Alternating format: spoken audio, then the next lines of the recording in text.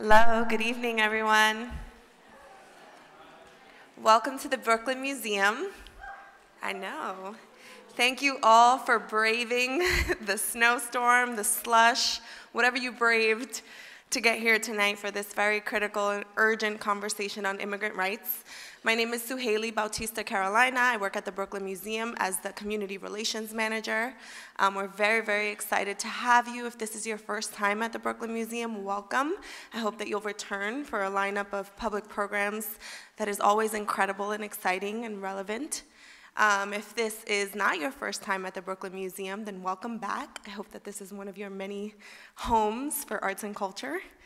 Um, I would like to, again, thank you for being here for Defending Immigrant Rights, a Brooklyn Call to Action, which is a program that we're putting together, uh, hosted by the Brooklyn Museum, the Elizabeth A. Sackler Center for Feminist Art, which celebrates its 10 year anniversary this year, and also the Brooklyn Community Foundation. So I would like to, with no further ado, introduce the Executive Director of the Brooklyn Community Foundation, Ms. Cecilia Clarke.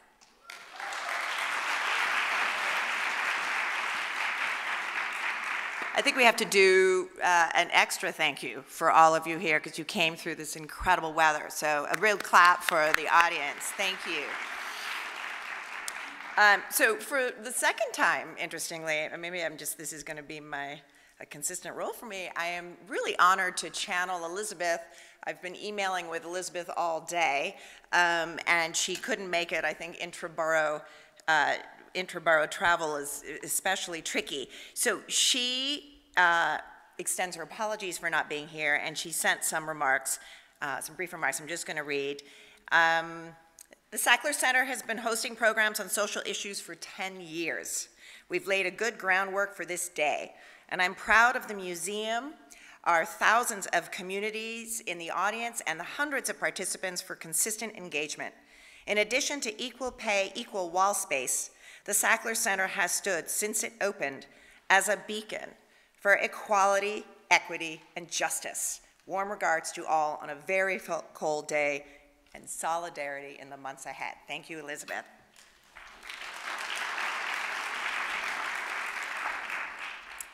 Um, so, of course, I really want to extend my thanks to Elizabeth, whom I, whom I just channeled, um, and Anne. Um, Anne Pasternak, where are you?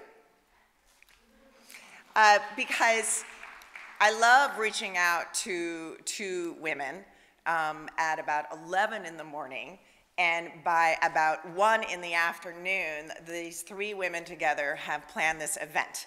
Um, and this all in response to the appalling current events that we were feeling um, really horrified by, um, but also really called to action, which is why this is, of course, called a call to conversation. So thank you very much, Anne and the museum for hosting us tonight, and it's an honor to partner with you. Um, so the Brooklyn, the Brooklyn Community Foundation is proud to partner with Brooklyn nonprofits, generous donors, and inspiring Brooklyn leaders as we work towards a mission to spark lasting social change for a fair and just Brooklyn. Since 2009, we've awarded more than 33 million in grants to Brooklyn nonprofits, taking on challenges as varying as criminal justice, school discipline reform, increasing access to the arts, and building the leadership pipeline for young people of color, and to responding to the immediate crisis and long-term rebuilding after Hurricane Sandy. Brooklyn Community Foundation brings people who care deeply, brings together people who care deeply about our communities to lift up local expertise and fuel community-led solutions to the greatest challenges of our day. That's why, just a few weeks after the November election, we created the Immigrant Rights Fund.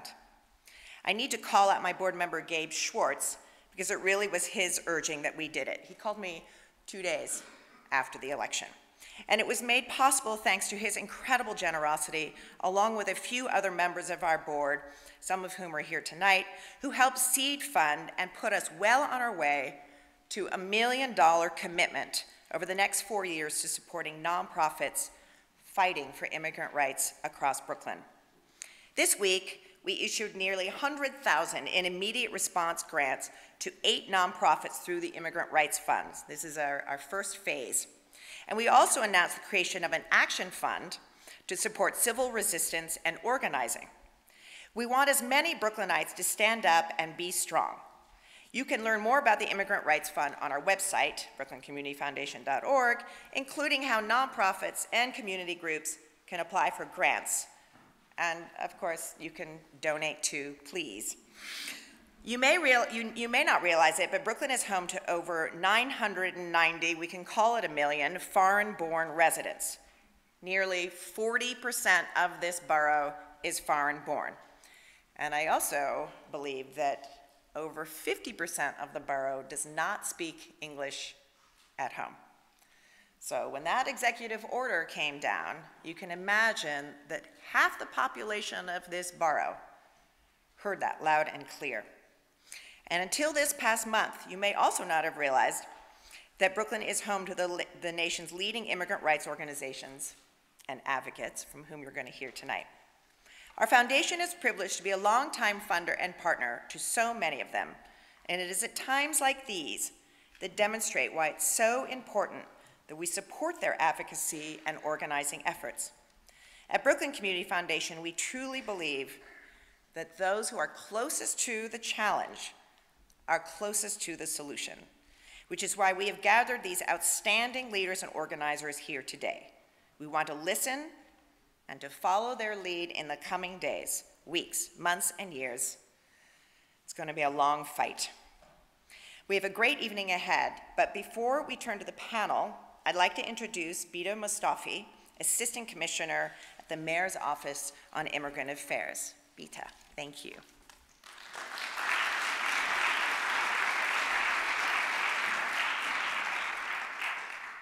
Good evening. Thank you all so much for coming out in this weather. Um, thank you to the Brooklyn Community Foundation and, of course, the Brooklyn Museum and the panelists that are about to join us to have a wonderful conversation. To get us started, I actually just want to say, does everybody just know the news that came down? Yeah!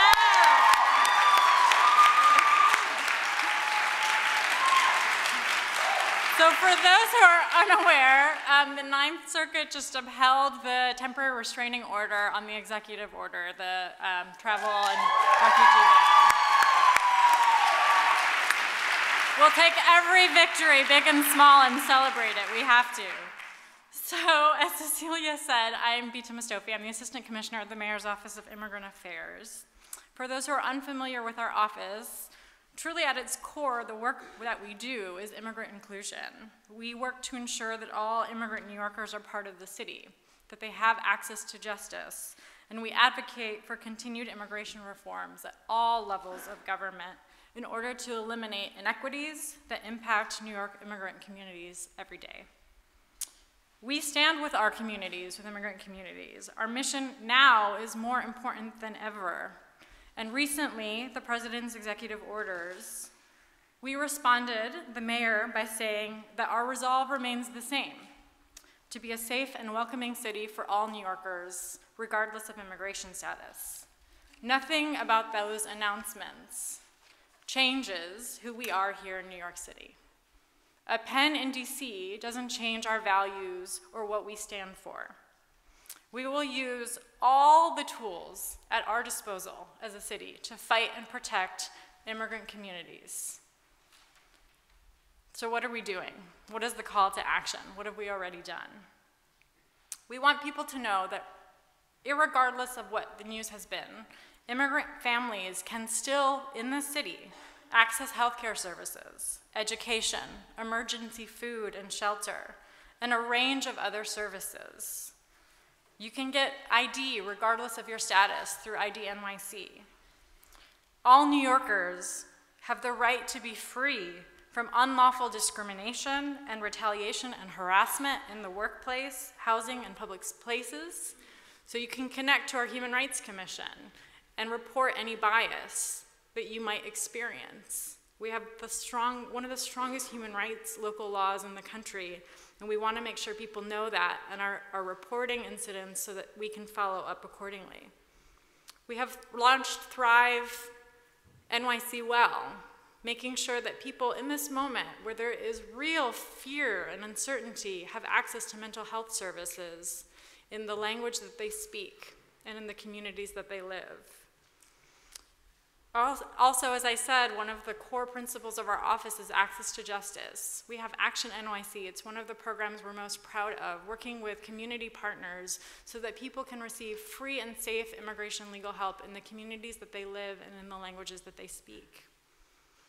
Recently, Mayor de Blasio and Speaker Mark Viverito released a one-page resource guide that outlines these among other resources that are available to immigrant communities. It's available online on our website and in many different languages, and so we encourage you as a quick and easy resource to get information out so people know what their rights are, to share it, and if you want uh, any more information on how to get it, I'm happy to provide that. We're also doing an increased number of Know Your Rights forums, making sure that we're out in the community with our sister agencies, sharing information, making sure that people know that nothing has changed in this moment in terms of the city's policies and programs and that they can access this information and rights. But where do we need to go and what needs to happen now? From our purview, we think cities need to come together, that this is really a time for local municipalities to fight together. We are part of a, a national coalition called Cities for Action, working collectively around the country to fight for immigration reform, to fight to protect our immigrant communities, and as I said, the values that we hold dear here in New York City. We've done this before. We've fought against attempts by Congress to cut off federal funding to cities that are immigrant inclusive, um, and we've successfully fought against it and we'll continue to do that. We've weighed in in the past on legal fights, on executive action, and we'll continue to do that as well. We've also been thinking about how we can be innovative locally. And one example of that is we just launched, or we will be launching, a legal and outreach capacity building fellowship for small immigrant serving organizations, because now is the time that we all have to get organized and we all have to get ready. And we've continued to do convenings with our partners. We don't do any of this alone. We do this with sister agencies. We do this with some of the incredible organizations that are represented here tonight. One example of that is just, I believe, yesterday, every day feels like a year. Um, we did a day of action with our Department of Consumer Affairs and our Human Rights Commission, along with the Arab American Association of New York, the Council on American Islamic Relations, the New York Immigration Coalition, and others, to do concerted information sharing in the communities where individuals were the most impacted by the executive orders that came down in the last few weeks. We can't do that work alone. We rely on the leadership of the community organizations and the advocates that we work with, as I said, and all of you to make sure that each and every one of us are holding each other accountable and are continuing to get good information out, connecting people to the right resources, and organizing and fighting together. So, where does that leave us? I think from our perspective, as I said, we as a city, we're ready to stand firmly committed to working with cities across the country, advocates locally, individuals, in making sure that none of these policies that, as I said, do not reflect our values or who we are, impact our neighbors, our family members, our friends, our colleagues, our New Yorkers.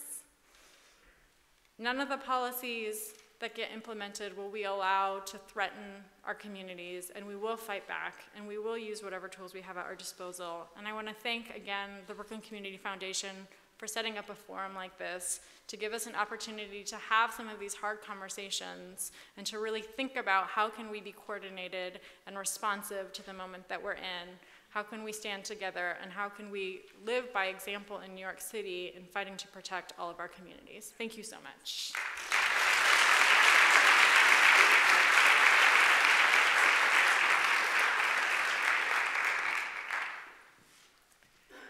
It it, listening to Bitta made me realize that there are so many opportunities in this city to get involved, and I know a lot of people have been calling our office, and I'm sure this is uh, similar around the city about, you know, what can I do?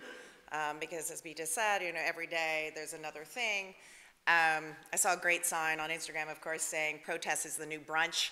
So certainly, I, I certainly do think continue to protest, but I just want to reemphasize that the foundation is very serious about its Immigrant Rights Fund. So if you know even really small immigrant-led groups, even community leaders who need money to organize protests, please come to us. That's our action fund. We also have a sustained response fund. Um, those are larger grants, uh, really trying to build the capacity of immigrant-led organizations in Brooklyn. Um, so I just want to be clear that that's what we're doing, um, and I'm sure all of you are also doing really amazing work. So I'm so honored to introduce tonight's panelists because this is really a group of people who, as I say, are on the front lines and I think will really give some insight into what's happening in our city and in our country. I'm so delighted to, I'm going to call all of you up. That's a warning to you, Linda. Yeah. also, for those sitting on the floor, there are seats. Just unless you want to be on the floor, and then that's fine. Uh, Linda Sarsour, Executive Director of Arab American Association of New York and Chief Organizer of the Women's March. Thank you.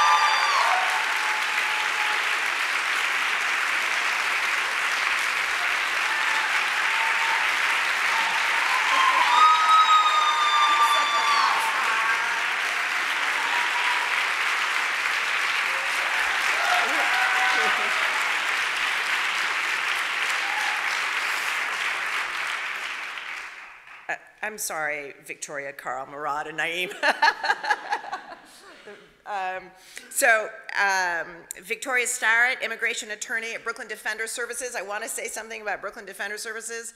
They had, I don't know, you certainly had 15 lawyers on the ground at JFK the day after. The yeah. So, thank you.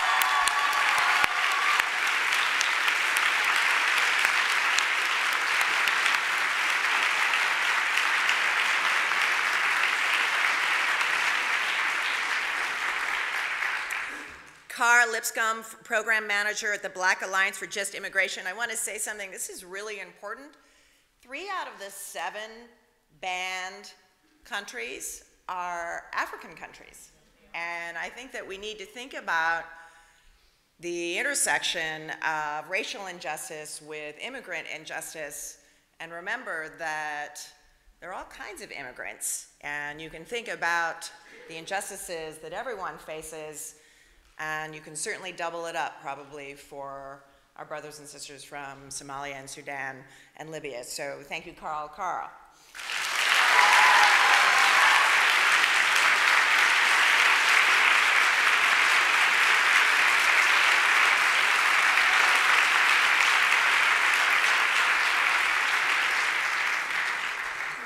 Murad Awawdeh, Director of Political Engagement of the New York Immigration Coalition, one of our first emergency response grants. They've been organizing protests around the city and really carrying the weight of this movement building. Thank you so much, Murad.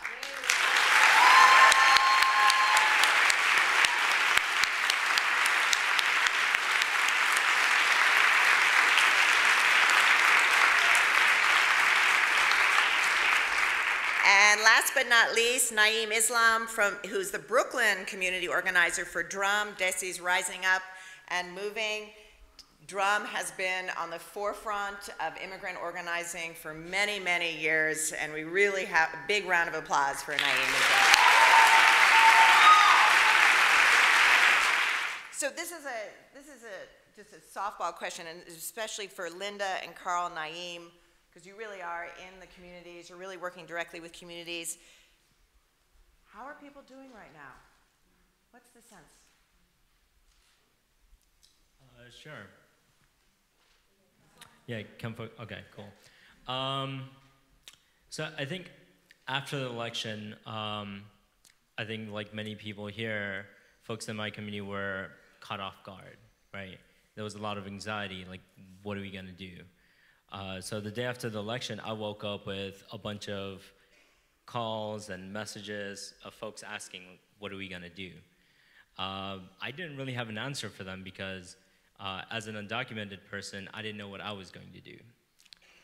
So for Drum, uh, we really just like turned to our members and our community to figure out, okay, what do we need to do right now to protect everyone to keep people safe. Uh, one of the things is like we uh, were expecting an increase in individual hate crimes, and there was an increase in individual hate crimes, but there was also going to be hateful policies that were going to be aimed at our communities. Um, you know, and instead of um, trying to combat the fear, the first thing we wanted to do is really create space for people to uh, address some of those emotions that they were having, uh, to really be able to feel scared, right? Because that's real. Um, but then from there, really figure out, okay, like how do we create local community uh, networks of defense? Um, for us, that became uh, what we're working on now, which is the hate-free zones. Uh, and that's an initiative um, of really like, okay, how do we create those infrastructures of defense? If we're not able to rely on the administration to protect our rights, uh, and we can only rely on local politicians to be able to do a certain amount, how do we really protect people? Um, so we are, I guess, creating kind of this like toolkit. So as Drum, we're willing to do this work in the communities where we have a base, like in Queens, in uh, Brooklyn, uh, but really uh, creating this toolkit for people to use everywhere um, that shares resources on trainings for people to get, whether it's know your rights or actual skill-based trainings uh, for bystander engagement, de-escalation, self-defense, uh, as well as really like building community relationships with local businesses or institutions uh, that are willing to leverage their power to protect communities and uphold the rights of, let's say, businesses, the immigrant workers that they employ, or the immigrants that they serve, uh, as well as like faith-based institutions to come out and really like support the community and really build cross-community relationships to protect people. Linda and Carl, what's happening on the ground? I think um, Nayim really summed it up, but um, people are horrified and people are afraid and people are um, being separated from their families. There are people, we, we forget that one of the countries in particular, Yemen, has been going through a war for the past few years and there has really not been much of an outcry uh, from the Saudi-led, U.S.-funded uh, war against the Yemeni people. So these people have already been stranded in places like Djibouti. There already wasn't an American consulate that was working in a place like Yemen. And my organization, about 40% of our clientele are from Yemen. So just imagine people who are waiting um, in countries where they do not speak the language uh, for their visa applications and being told that their appointments are canceled and not knowing if you're going to be reunited with your children or with your spouse or with your parents. Um, I think the anxiety comes from a place of, you know, understanding our history as a country. We've done really horrible things to people before. Um, I don't want to take you through um, four and a half centuries of pretty horrific things, and I think our community um, doesn't have the reassurance that something really horrible wouldn't happen to them. And, and, I, and, I, mean Muslims of all backgrounds. And I think what this ban proved to all, and I think um, Cecilia said this, is that Muslims don't all look the same. They don't all look like me. They don't all look like Nayim. They don't all look like Carl. We literally represent every racial and ethnic national origin that you can imagine possible. So this idea of banning Muslims is really ludicrous, number one. But, um, but really, you know, more ludicrous that Muslims have been here before this country was called the United States of America, but I won't get into the educational uh, moment. But um, I think what's the saddest to me is, um, as someone who has, we have about 25 Syrian refugee families in Brooklyn. And when you hear stories of people who left torture and massacres and watched family members chopped up and brought to their doorsteps, um, people who are displaced and are living in horrific conditions in refugee camps across the world, and we live in a country that says we don't want Syrian refugees. We've only taken about 7,000 when other countries have taken in the millions. And then they actually come to you and say, before the ban even started, when Donald Trump became president, they asked this really, like, can we go back? And I said, go back where? To the refugee camps. What? You just left the refugee camp, but they're so afraid of what could happen to them here that they're willing to take their families back to a refugee camp. Because you know what? At least they were together in the refugee camp. At least they were with community. At least they felt that they could be physically protected in a refugee camp. And for me, as a Brooklynite in particular, to, to, to live in Brooklyn and to have people who live with me in Brooklyn who don't believe that we as Brooklynites can protect them, that we can't, that we won't stand for them, and that we won't make sure that nothing happens to them and their children really is something that has physically and emotionally impacted me personally. So I think what I want you to know is that your immigrant neighbors, your Muslim neighbors are horrified and afraid. And it comes from understanding that there were times in this country where the silent majority sat back and allowed us to exclude the Chinese, they allowed us to intern Japanese, they allowed for segregation, and that there were really racist things that happened in our country and we called it law. So let's remember this that our government says certain things that happen are law. And I want to remind you in this room that just because something is law doesn't make it moral and doesn't make it just. So I don't want anyone telling me about what the law says or if the Supreme Court comes back, because you know, you know Donald Trump is going to appeal. He's not going to take this line down. And if this goes up to the Supreme Court and the Supreme Court agrees with Donald Trump, what they're going to tell you is this is the law. The question are you as Americans, are you going to stand for it because it's a law, or are you going to stand up and say this is an immoral, unjust law? And finally, get to a moment in our country where we do say never again, and when we say never again, we mean never again.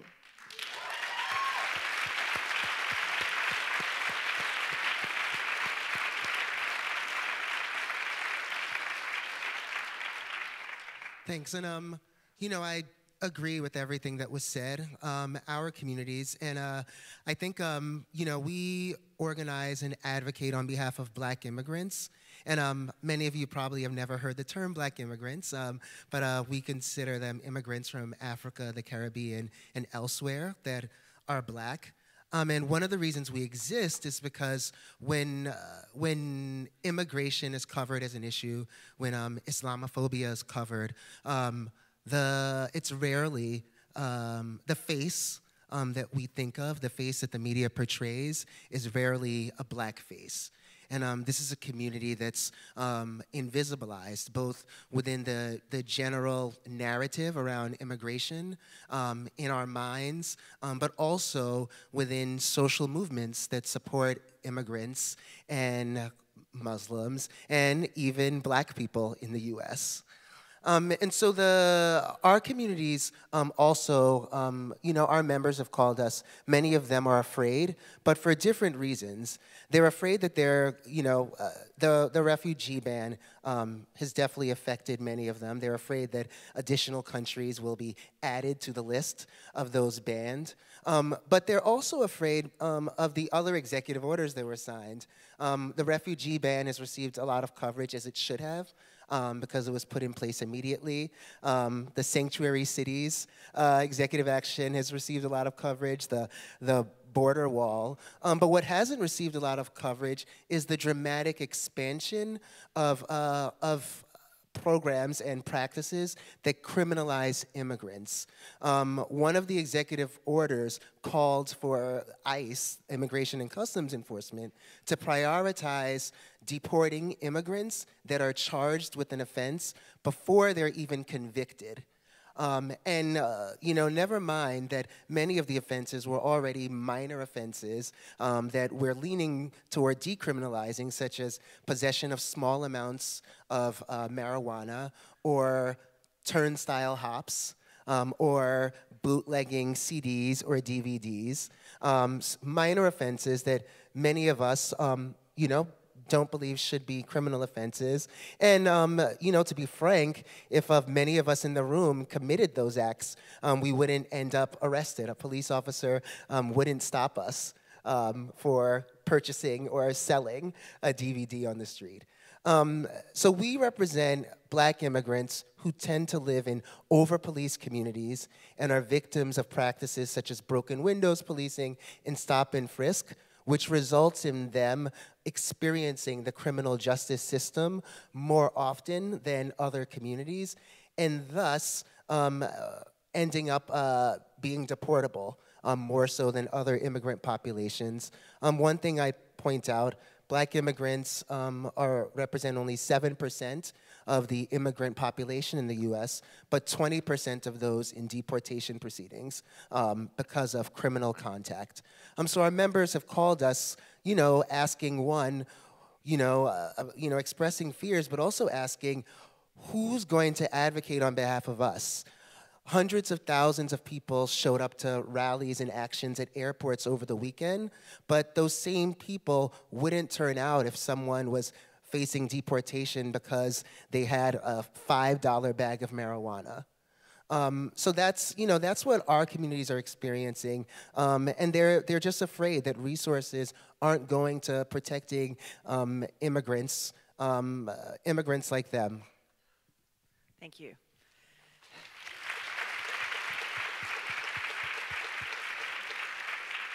Uh, so Victoria and Murad, this is just a little bit about how JFK, the response at JFK came together. I, guess Victoria, I'll start with you. Can you provide a little bit of overview around Trump's EO, around the, the Muslim ban, like the legal standpoint? Of course, the wonderful news today changes that, but I think we'd still really like to hear what, what really is this about? How does it really impact immigrants? And then Murad, what I would say after Victoria is, how, how did that come together at JFK and, and really what was um, New York City Immigration Coalition's role? Victoria? Sure. Um, so I think I feel like the executive orders have been covered, I, I, feel like in my life nonstop, so I can imagine in your life as well, um, but really have targeted seven countries who happen to not have business ties to someone. Um, and, you know, we have had, as other judges have pointed out, there are zero deaths related, terrorism related deaths to any, anyone from those countries. Um, there is very little talk about the refugee process. Um, you know, there's a talk about refugees are dangerous, um, but there's just a, a lack of knowledge about how long the process takes, how many state agencies do background checks. Um, I mean, we're talking, it takes years and every you know government agency security agency going through and doing background checks. And if there are any ties whatsoever people are just not permitted to come into the united states because we are that strict. So the idea that refugees are dangerous is just not um, not backed up by any facts. Um, alternative facts alternative facts right. Um, so i mean what, what we saw was was an the immediate enforcement of an executive order um, that immediately people were inside planes coming with valid visas, and suddenly the visas, their green cards, um, the permission to come into this country was suddenly revoked without any hearing. Um, without any ability for a neutral magistrate to look at the case and decide are you a danger to the United States? Should your visa, which you have gone years and years and through all these background checks, should it be suddenly be revoked? Um, based on this blanket executive order. And so what we saw at JFK were attorneys, I mean, people turned out, I think at 6 a.m., attorneys from my office started, and other offices, I think there were over 100 attorneys, law students, advocates who were at JFK, um, writing habeas petitions, advocating with CBP, standing with families, and just saying, we're here with you, and we're gonna be here um, with you for the next, hopefully, no more than four years. Can I just, just a quick question, Mara, I'm so sorry. Um, are there still Brooklyn Defender attorneys at JFK? Are there still attorneys at JFK? Is this kind of an ongoing thing? Yes? So, so I personally know that some have been continuing to go. Um, I think there is a little less to do because um, now with all of these stays, it seems yeah exactly. Thank, thank you for the courts um, checks and balances actually working at this point, um, and stopping these executive orders so that people are able to get through.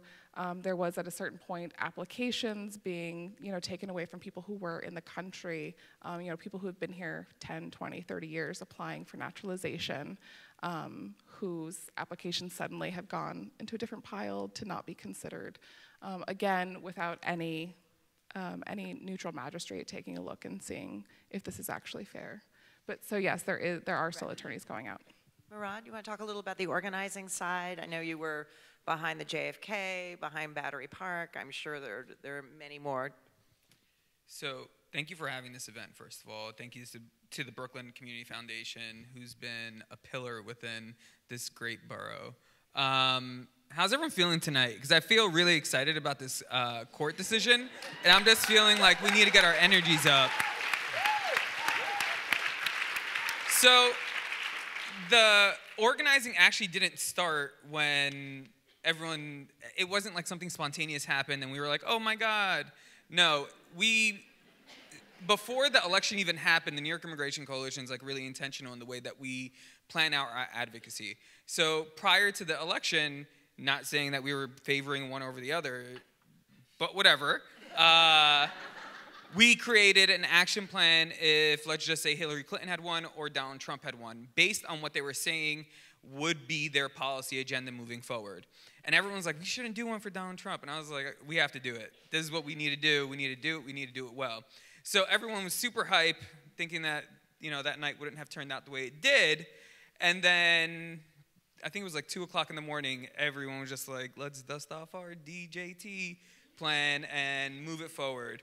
So we spruced it up, and what we had envisioned to do moving forward, and we continuously went back and forth internally as an organization, is how do we like our usual organizing isn't going to work anymore, and we had to amp up. And the way that we were going to amp it up wasn't through usual, just like, we're going to plan a protest tomorrow in two weeks. Please come out and join us. We realized that things had to have happen.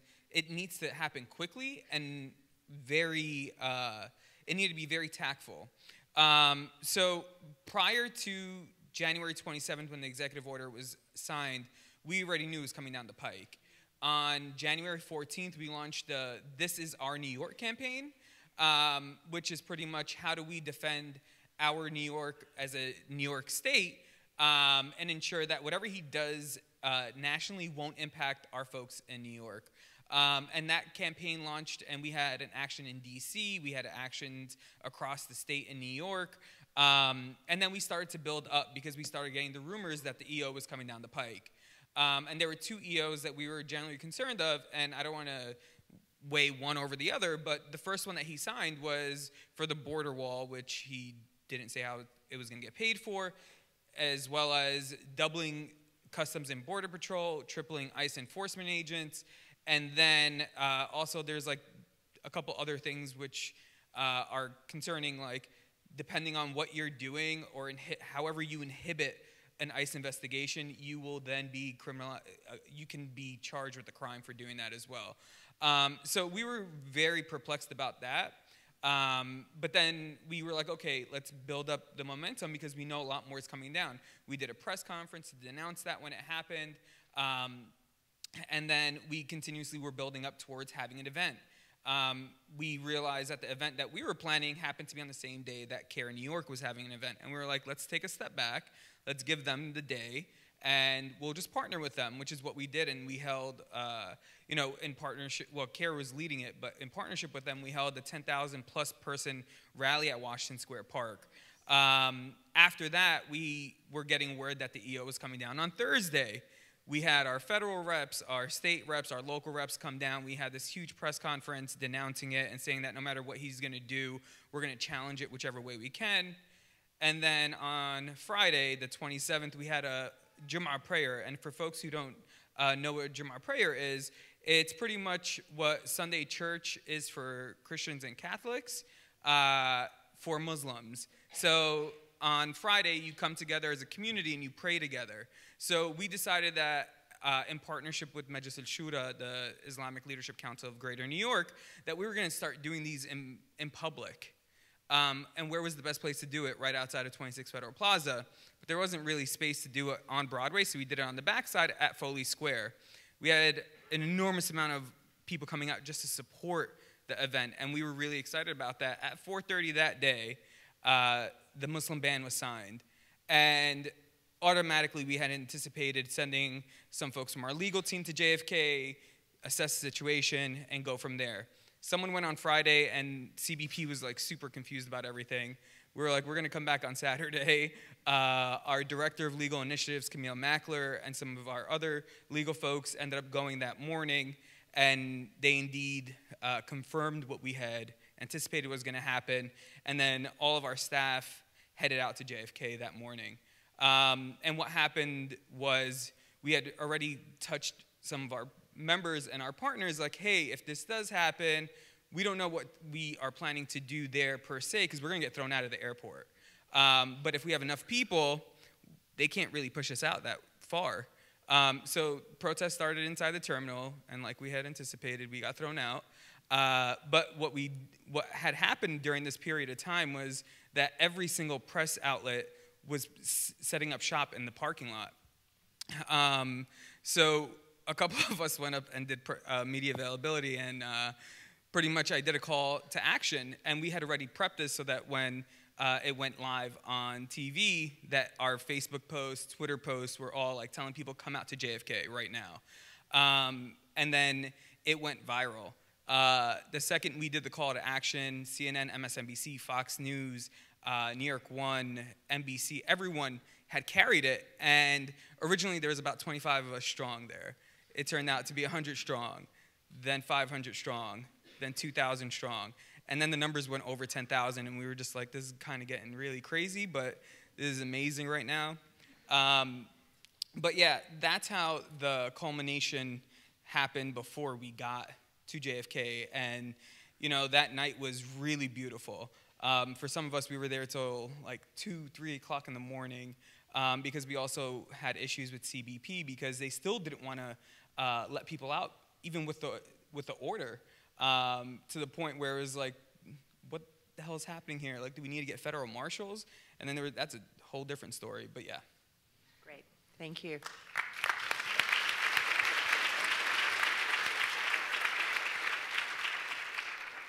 So, uh, speaking of things getting crazy, but in a good way, uh, Linda, um, I'm going to turn it to you because, in fact, you were one of the chief organizers of the Women's March. Can you share uh, what that was like for you and what's coming next? So, um, some I'm gonna do like heavy.com. Five things you need to know. Uh, first, first, I want to say four of uh, the four national co-chairs of the Women's March on Washington are all New Yorkers. Let's just get that straight. That's, that's important.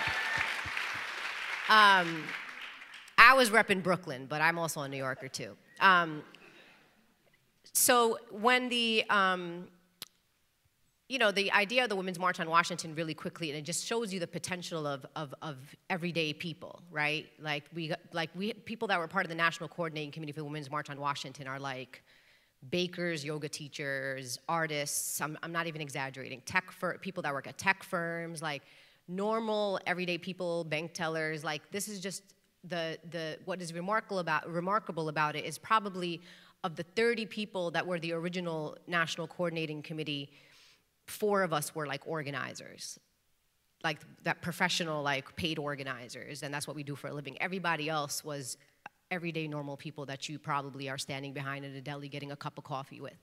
Um, and when the, the, day, the, the night of the elections, a retired grandmother in Hawaii named Teresa Shook wrote on Facebook, I think we should march. That's it. That's all that happened. And then the Facebook page, she woke up, and the poor old lady woke up in the morning and her Facebook was like already on the other side of the country. Like that was really what happened. And, and then it culminated into a Facebook page that became the Million Women's March. And poor white ladies didn't know that in 1997 there was already a Million Women's March that was organized by black women in Philadelphia. So it was a little educational moment. Um, and then by, that's what happened.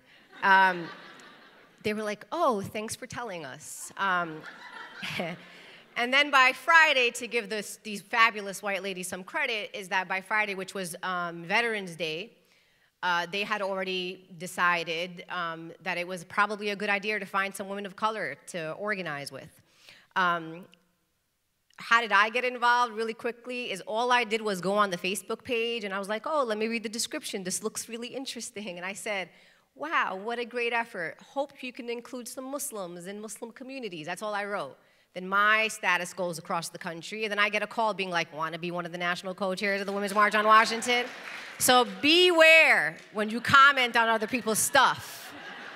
Just letting you know, that's what happened. Um, so I became the um, co-chair of the Women's March on Washington, and you know, I just want people to understand this is where the organizing kicks in, and this is why we're in a different moment than we have ever been before. And I want to just give you insight onto how we are going to win together. And the Women's March on Washington taught me a lot of things. So, my conditions for organizing were people of color had to be center that we had to center the most marginalized communities, that this could not be about women's reproductive rights, because if you're a woman about to depo- be deported to Colombia or to Mexico, your ovaries are probably not your first priority right now. Um, if you're a Muslim, you're worried about getting interned like the Japanese, you're probably not worried about your reproductive rights at that moment. Not to say that reproductive rights are not important, they're very important, but we could, and my condition was that we could talk about reproductive rights and racial justice and economic justice and immigrant rights and LGBTQI rights all at the same time. Because I have a big enough mind and a big enough heart that I can talk about all those things together, right? So we decided to then, for the Women's March, to become an intersectional, that we could give platform to climate justice and to racial justice and to all these issues, and that it could be led by women. And that was the idea of the Women's March, and that's what happened. And the Women's March also gave me the opportunity to say, wait a minute, we have all these things we want to be against right now. We're in this like reactionary mode. Everybody wants to fight. It's either fight or flee, right? That's the kind of moments that we were in. And the Women's March was an opportunity for us to say, hold up a second. I'm not letting evil monsters in the White House blind me and blind us as Americans from what we truly believe in and what we believe our true values are as human beings and individuals. I'm actually going to be part of something that talks about what I'm for and not just what I'm against. And that's what happened. And it's why we were able to bring out people who swore to God they never marched a day in their lives, literally. And you saw it here in New York City, you saw it in Washington, D.C. When I went to, when, when we were in Washington, D.C., and at four o'clock in the morning, we were already on the side of the march. And it was dark outside, it was literally like night. And I walked and I saw these people, and I, went, I was literally talking to random people. I was like, What are you doing here? It's four o'clock in the morning. They were like, What are you doing here? We're doing what you're doing here. and it was a remarkable feeling of how you can bring 1.2 million people in Washington, D.C., about 3.4 million nationally and close to 6 million internationally to stand up and say, we are going to be united and we're going to center the most marginalized communities and we're going to be able to talk about all the progressive issues on one platform together. And what I will say is what you saw from the branding of the Women's March, from a lot of people said, wow, this, you guys got a lot of resources behind this. I was the head of fundraising, that was my job. And, you know, when, when we started, the, just to give you the, the power of people and individuals, when we started organizing, they said, oh, Linda, you know, here's corporation A, corp. I said, hold up. Y'all don't know who you mess, no, no. Ain't no corporation putting the name on this. Let me just let y'all know that. They say, what do you mean? We can't put something this huge together without support from corporations. I said, y'all weren't following one of those political campaigns that I was on in 2016. Yes, you can. Yes, we can. And the Women's March on Washington was powered by the people. It was, I would say, 70% of the funding that we got was crowdsourced. It was like the $27 donations. It was from every corner of this country, from rural Nebraska to our friends in LA to the mom in Brooklyn. So we raised about close to four and a half million dollars. And I'm gonna be honest with you because this was public information. We used merchandise stores for people to buy t-shirts and be able to support the march and come and wear our branding but also have their proceeds go to the march so the reason why i tell you that is because when you got to the women's march on washington there was no coca-cola there was no walmart there was no brands that owned the message and we were allowed we were able to put up whoever we wanted on that stage. We were able to talk about whatever we wanted on that stage. We, were, we, we put the undocumented, we put black women, we put native people, we, we talked about climate justice. We were able to talk in such a free way and organize in such a free way that I think that's what, that's what we've been missing for a long time. Even foundations, like, it's funny because the right wing has been attacking me for, I mean, they've been attacking me for like 15 years, but lately they got really creative about it. And the question they're always are asking me, they're always like, Dun dun dun, George Soros. I was like, George Soros is a nice guy. He, he gives us, you know, he supports a lot of the organizations. But guess what? Ain't not a dollar from George Soros went on the Women's March on Washington, just so you all know. So I think what's important is that the Women's March proved to me the potential of ordinary people, the mom. I don't know if you saw Bob Bland, who's one of the national co-chairs, is a, the CEO and president of Manufacture New York, which does ethical manufacturing. She was one of the co-chairs. Chloe, who you see, who's what we call our March baby, was born during the planning of the march. So literally, this lady was delivering in the hospital. And we were like, okay, do we do Chase Manhattan Bank or do we want to do a credit union while the lady's delivering her baby in a hospital? And she kept her baby with her everywhere. She carried her baby around, she breastfed her baby. And I know it sounds like too much information, but it proved to me that anybody any Brooklynite, any New Yorker, that there should be no impediment for anyone to say, I don't have a role to play or I can't play. Because if a woman that just delivered a baby could breastfeed her baby and organize the largest protest in US history, then darn it, you could do something. So, and I just, and I want to be clear that the Women's March on Washington is not here to replace any institutions. We were a group of women that came together from across the country, and the idea was that after this administration, and people said, why the first day after, why, why the first day? Why not two weeks later? Why not wait and see what other bad things are about to happen? No. That has to happen on the brother's first day in office, that he needed to see at least 3.4 million people nationally. And I heard, I don't know if somebody wants to look this up, but I heard if you can turn out 3.4 million people, that's what, almost 1% of the US population? It's a lot of power right there. I won't say what, what it says online that means, because then it will get into a newspaper somewhere. But it's pretty powerful. And I think that set the impetus for the rest of what you're seeing now this consistent mobilizing at airports around the country, the direct actions, that it really gave and inspired people and gave a spirit of people of organizing in this consistent way. The Women's March on Washington, by the way, is alive and breathing and there's a lot more work coming, including a day without a woman. There will be a international strike um, that will be led by women. March 8th. There also, huh? It's going to be March 8th because that would make sense, wouldn't it? Um, this, the, the other piece, just so people know where, where we're, because people are saying, what happened and what are we doing? Right now, we're working on an electoral strategy for 2018. Um, and it's going to include state legislators specifically as well as on the federal level.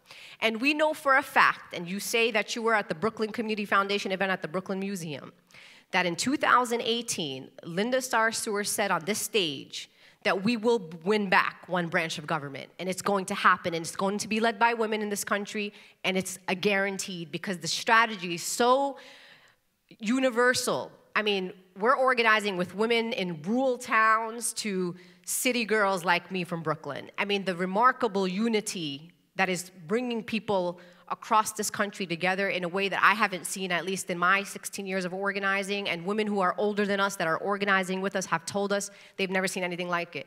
I was on um, MSNBC with Gloria Steinem, and Chris um, Hayes said, You know, you've been here before, you've been doing this for decades. And she literally interrupts him. She's like, shh, hold on. She's like, I never seen anything like this. So if Gloria Steinem says she's never seen anything like this, well, we're probably doing something right.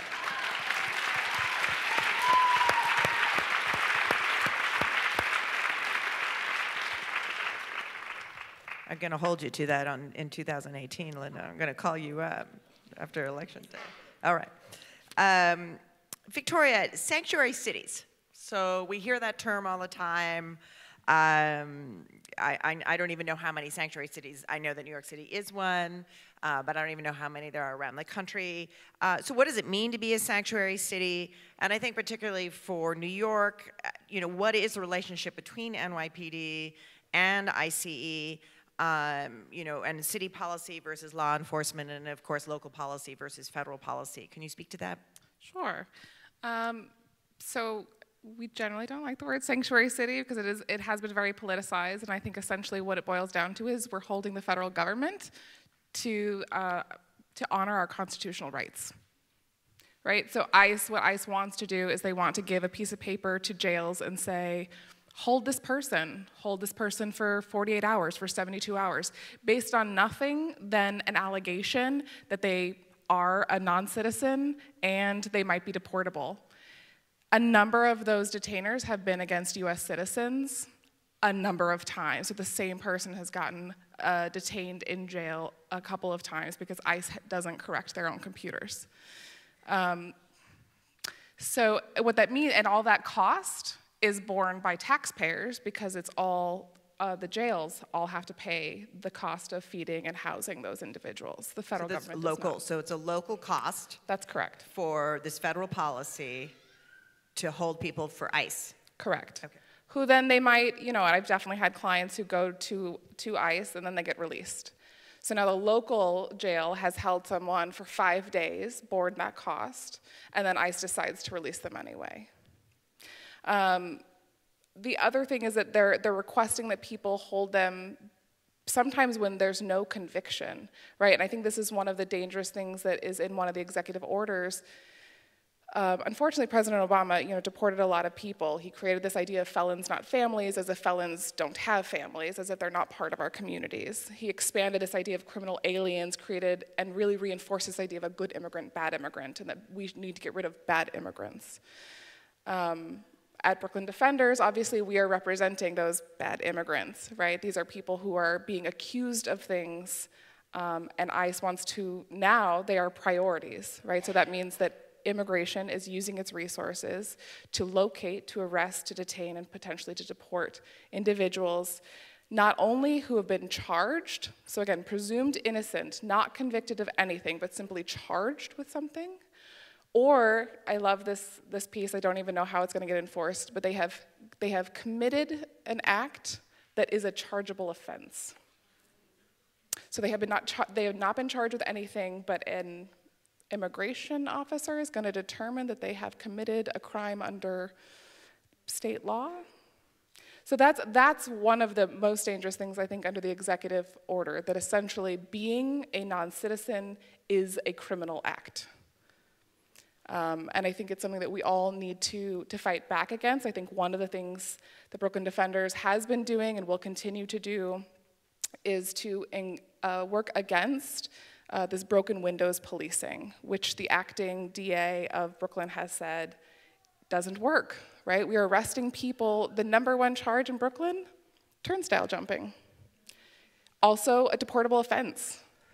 I have a client who was detained for eight months in immigration detention. He had an immigration order against him, almost got deported.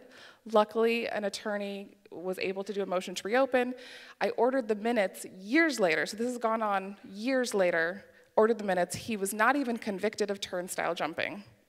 So he was in jail, almost deported for, turns, for turnstile jumping when actually he wasn't even convicted of that. And that's, that's the system that has been set up, and this is the system that these um, immigration officers, that's why it's so important that we have neutral magistrates, right? That we need someone to be a check on, on immigration officers who are willing to just arrest, detain, and quickly deport people. Um, and I think the other point that I want to make that I think is really important is every time someone gets arrested, they give their fingerprints over, right? Everyone knows this. You get a mugshot, you get your fingerprints. Those fingerprints get sent to a system that ICE then has access to. So now ICE has their address, and they potentially know that they're in jail. They, and they find out different information from them. And what are they doing with that information? They're showing up at people's houses, they're showing up at homeless shelters and arresting and detaining people, including people who are so sick that they cannot sit down, people who are having consistent heart attacks every single time they go to court because of the, the stress that they're under, and, and ICE is fighting any requests to release those people.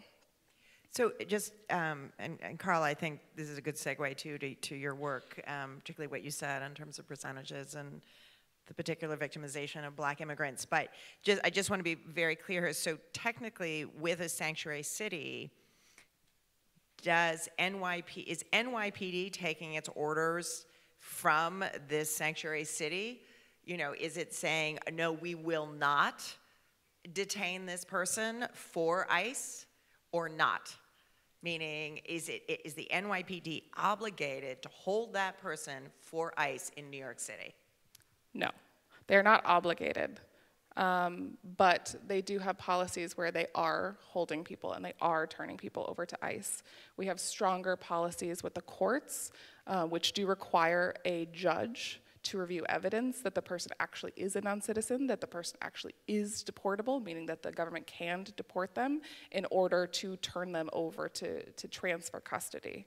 Um, but for NYPD, it's, it's different, but it is not mandatory because the federal government cannot, I just want to be clear, the federal government cannot mandate that because that is a federal duty and the local government does, is not required to um, act for the federal government. Okay. Carl, do you want to comment on all of this and just in terms of your work with black immigrants? Yeah, I mean, the first thing I'd say is I know that New York City considers itself a sanctuary city, but New York, and you know, listen to this carefully, New York is not a sanctuary city.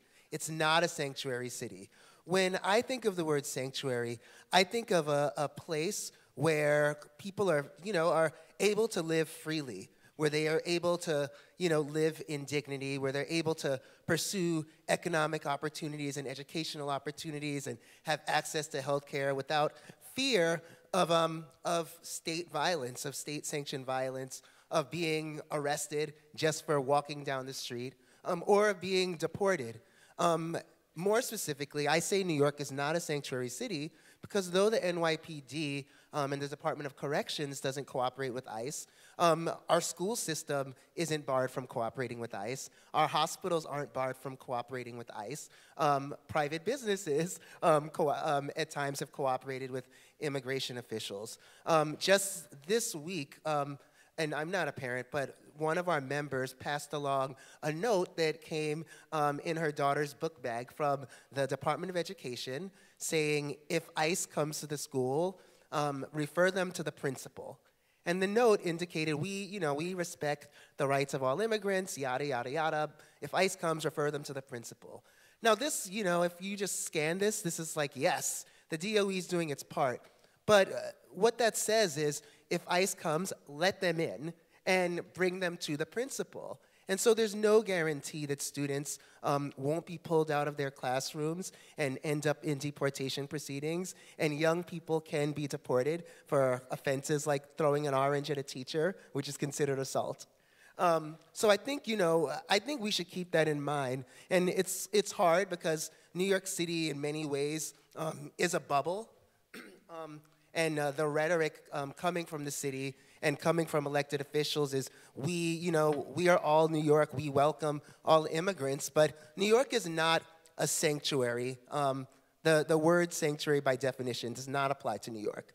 Um, when it comes to black immigrants, and like I said before, black immigrants face, especially black Muslim immigrants, face the consequences of their race, their religion, and their migration status. So, like all black people in the city, they, they fear being arrested, um, being stopped by police um, just, just for living in their communities.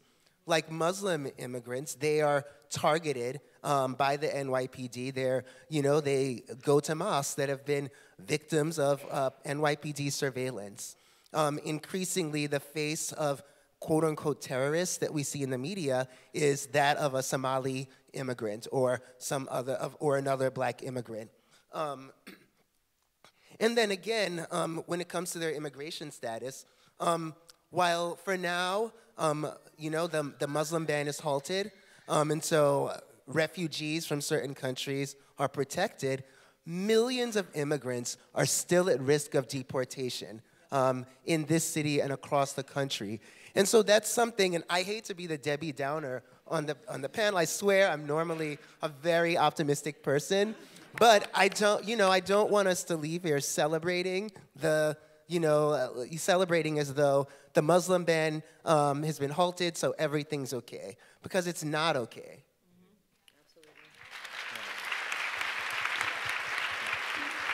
So, yeah, I totally agree with that around New York not being a sanctuary, right?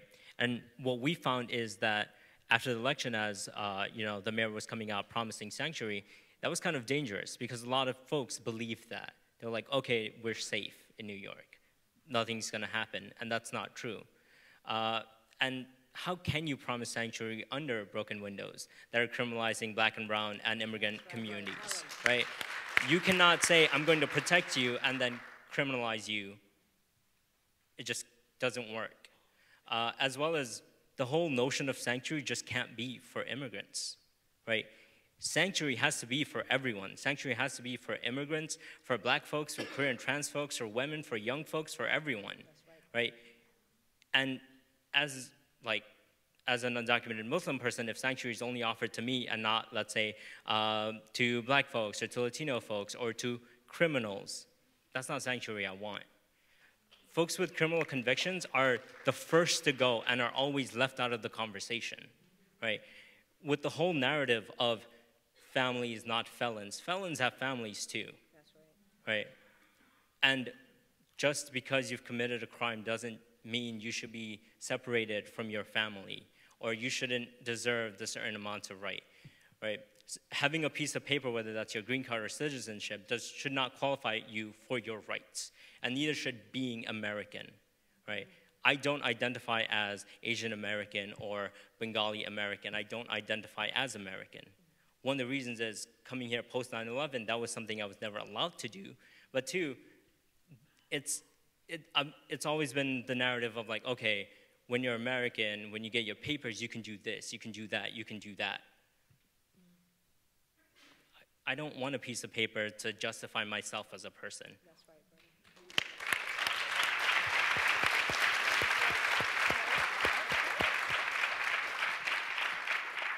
I just wanted to add that um, I always get, I don't know, it just never sits right with me when we allow government to be the ones who define what sanctuary city is. I think it is us who create sanctuary cities. It's people who create sanctuary. And I think oftentimes the conversation has been about uh, sanctuary basically i don't know at least what i my understanding is when people say sanctuary meaning like in these government policy conversations they mean that the local city government is not going to work with the federal government. That's really like the definition of sanctuary.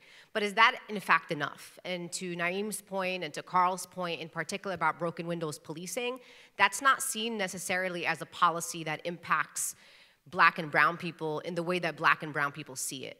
So my point is is that I want to define what sanctuary is, I want you to define what sanctuary is. And I always say to people, how are we going to protect the most vulnerable amongst us if we don't even know who our neighbors are? And I always say you can't protect people that you don't know.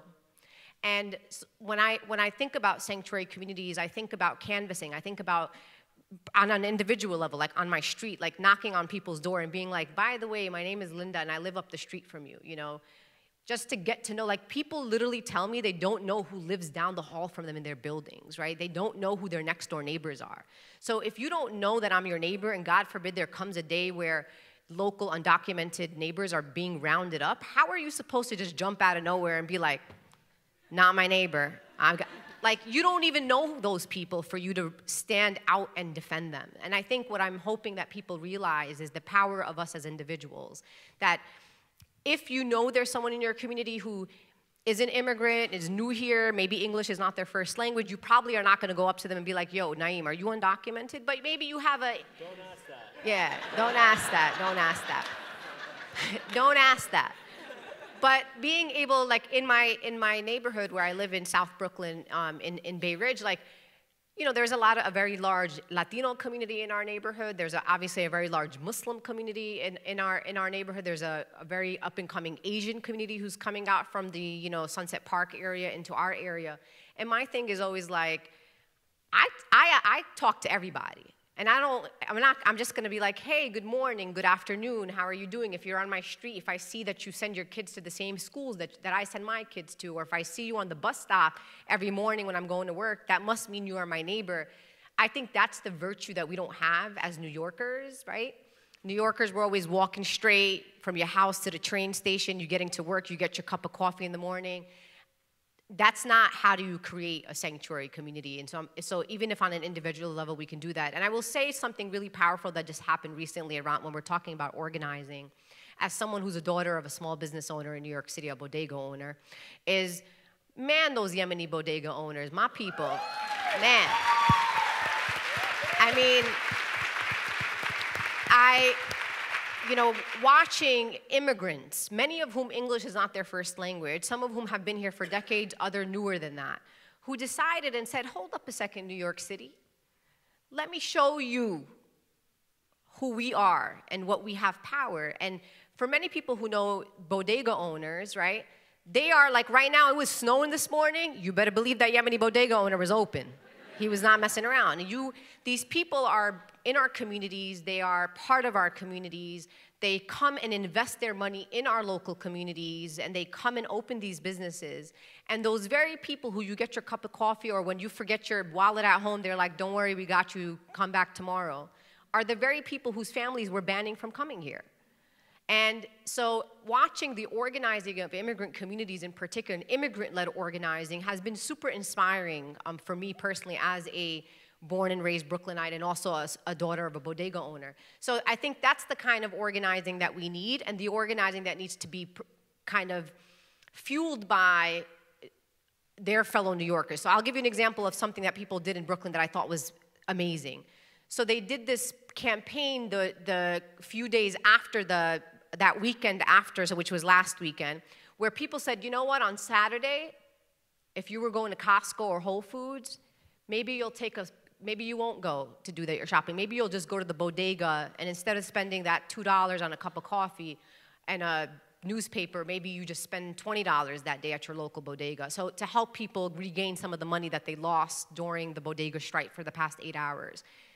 That was some ordinary people that were like, that's what we want to do. So again, yes, it's the institutional organizing is important, but the powerful organizing is happening by everyday New Yorkers in the city who are coming and showing up at JFK, who are organizing locally with bodega owners.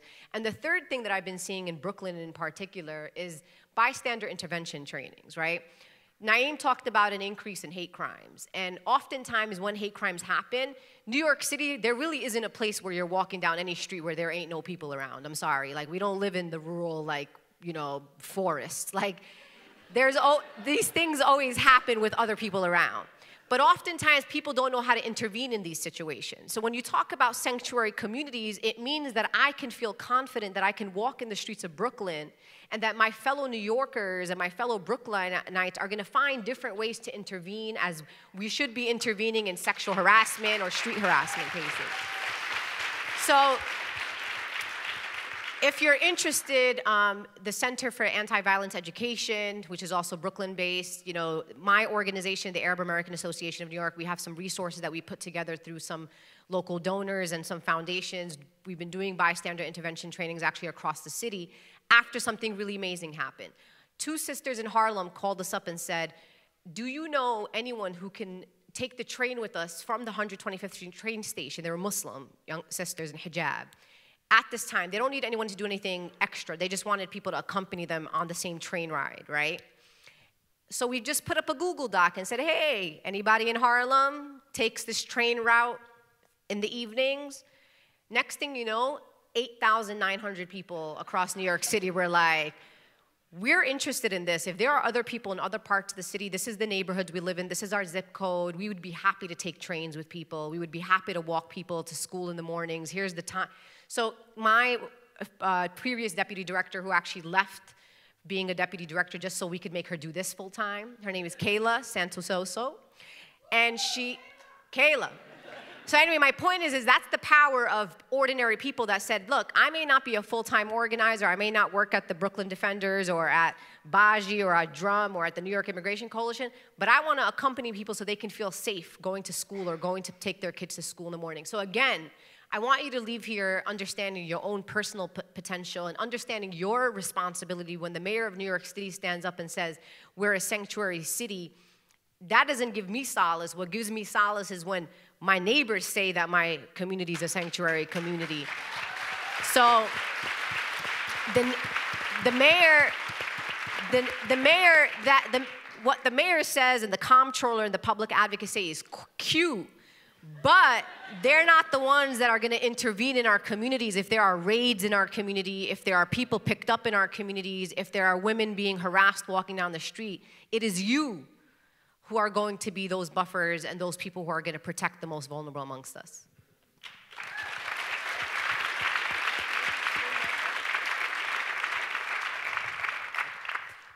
I think that's a, a great place to uh, not end because we're delighted to, to field questions from the audience, but um, you know, I'm, I love that the natural curve of this conversation has gone from really understanding fear and anxiety um, being suffered by individuals and by our neighbors, our Brooklynites and our, our New Yorkers, um, to the power of individuals and communities to change hate and to change fear and to change anxiety. And I hope that that's an inspiration to everybody here um, that in large parts or in small parts, you really can change what's happening. Um, and I would encourage you all support the phenomenal organizations to my right. They really are doing incredible work. And actually, there are a lot of great immigrant organizations and non-immigrant organizations in Brooklyn doing great work. I certainly would encourage you to go to our website, Brooklyn Community Foundation, and support the organizations listed there. We stand by them.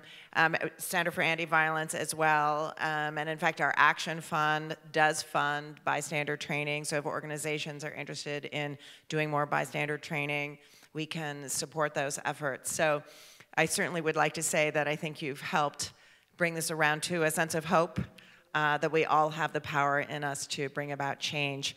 So I would love to, so thank you all to our phenomenal. Thank you.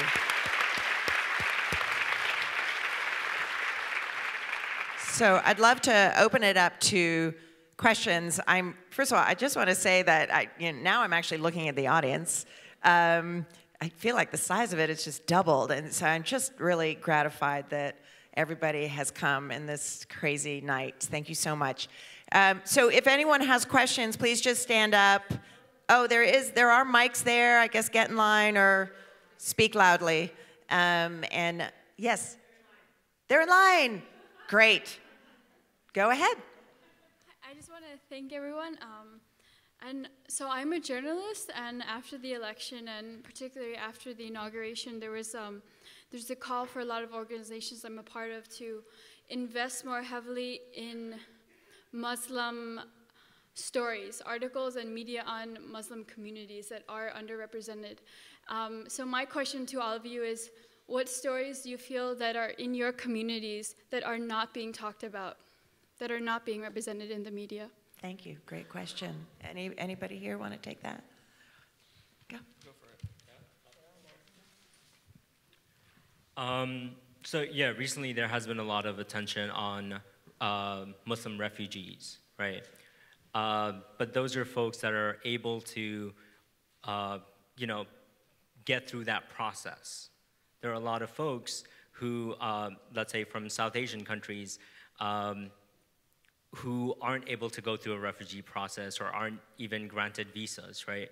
Um, who end up having to uh, come to, let's say they will go from Bangladesh to Brazil and then spend upwards of six months walking across South and Central America to come to the US-Mexico border and cross over, uh, which is uh, like the majority of the base that I work with in Kensington, Brooklyn. Uh, a lot of young men, some young as 17, who make that trek to come here, uh, many of whom fleeing um, economic hardships and a lot uh, fleeing political violence, right? We say there's a Muslim ban, but the amount of visas that are granted to certain communities or certain countries, that's like a soft ban in itself. The reason so many people are willing to take such an extreme journey is because they're not granted those visas. And in fact, uh, the political parties that they are a part of that are being targeted back home are then identified as terrorist organizations by the US government, right? So there is a lot beyond just what's popular right now, and not just within Muslim communities, but within, um, like one example I'll use is last night, one of the first people to be deported from uh, Trump's administration, um, Guadalupe Reyes, right? a mother of two, been in this country for over 20 years. Only offense that she had was she was issued a deportation order. And I used that deportation order to track her down and deport her. So there, as raids and uh, detentions and deportations increase, we're going to see a lot more of these stories, but a lot of them are going to fall through the cracks and aren't going to get the attention and aren't going to get people, uh, you know, calling up their reps to demand for their release. Can I just, um, I know one question um, that people have just about that particular example is when a caregiver or a mother is deported but has children here who are American citizens, what is the legal, you know, what are the legal intricacies of that situation and is there any kind of compassion for a situation like that? Maybe Victoria, that is a question for you, but maybe any of you, Linda, or any of you know what the answer is. So it used to be there was a, something called prosecutorial discretion that ICE had the authority to issue, and it would often is cases where someone has been here for a really long time. They either have zero criminal convictions or really minor offenses, um, and then they're often caregivers.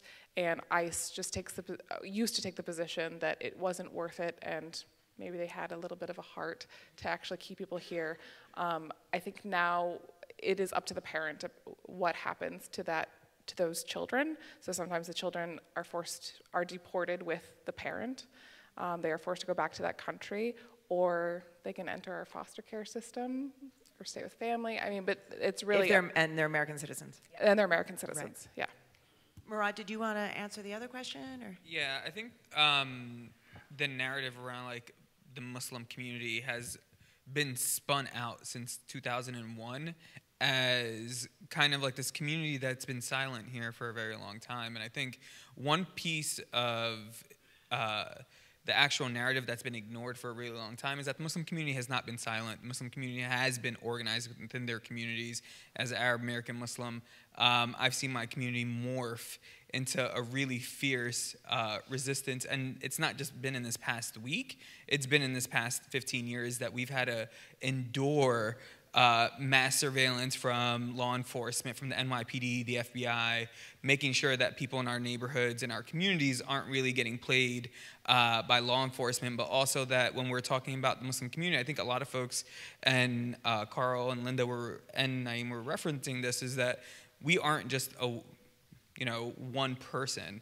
You know, the Muslim community spans entire spectrum. And when we're talking about it, we have various stories. And I think the media tends to highlight the hot topic at the time. Um, and that hot topic right now is the Muslim ban. Um, but before that, we were, you know, up until the AP broke the story where, uh, you know, Linda was really critical in that, where, you know, we had always figured we're under surveillance. But then when we actually had hard evidence showing that we were indeed being surveilled by the NYPD, it was kind of like, what the F? This is like we knew it in the back of our heads, but it, we needed like something to verify it for us. Um, so I think like highlighting those stories. Also, there's been a ton of stories that have been ignored by the media of people being entrapped by law enforcement and being like forced into these situations where you know if they're a young person getting amped up by uh, an informant to do some dumb shit sorry um, and then getting literally locked up for it. Um, and now they will rot in prison. So those stories are really critical. Um, and the Muslim community isn't just one person. That's what I want to end it on. Um, we are as diverse as everyone up here and in the room. Um, and I think that that's something that needs to continue to be told um, because a large portion of the Muslim community is African American.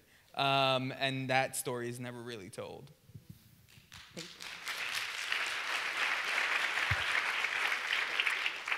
So thank you, first of all, for coming to speak. Um, I get the sense that a lot of what is being talked about in terms of planning for the next four years is a mode of self-defense, right? A lot of what we're talking about is, is about defense. Um, but my question is about the long term. Like, what got us in this place in the, in the first place, right? Like, what kind of political system and economic system got us to this point? So, my question is and I hear you talking about self organizing communities, I hear you talking about, you know, uh, not wanting uh, a government to decide whether you're legal or illegal. So my question is for all of you, what are some of the long-term changes that you hope for? What kind of like is this constitution working for you? Is for any of us, right? Is this sorry? Is the electoral college working for you? Thank you. Is is the political and economic system working? And if it's not, what are we going to do about it?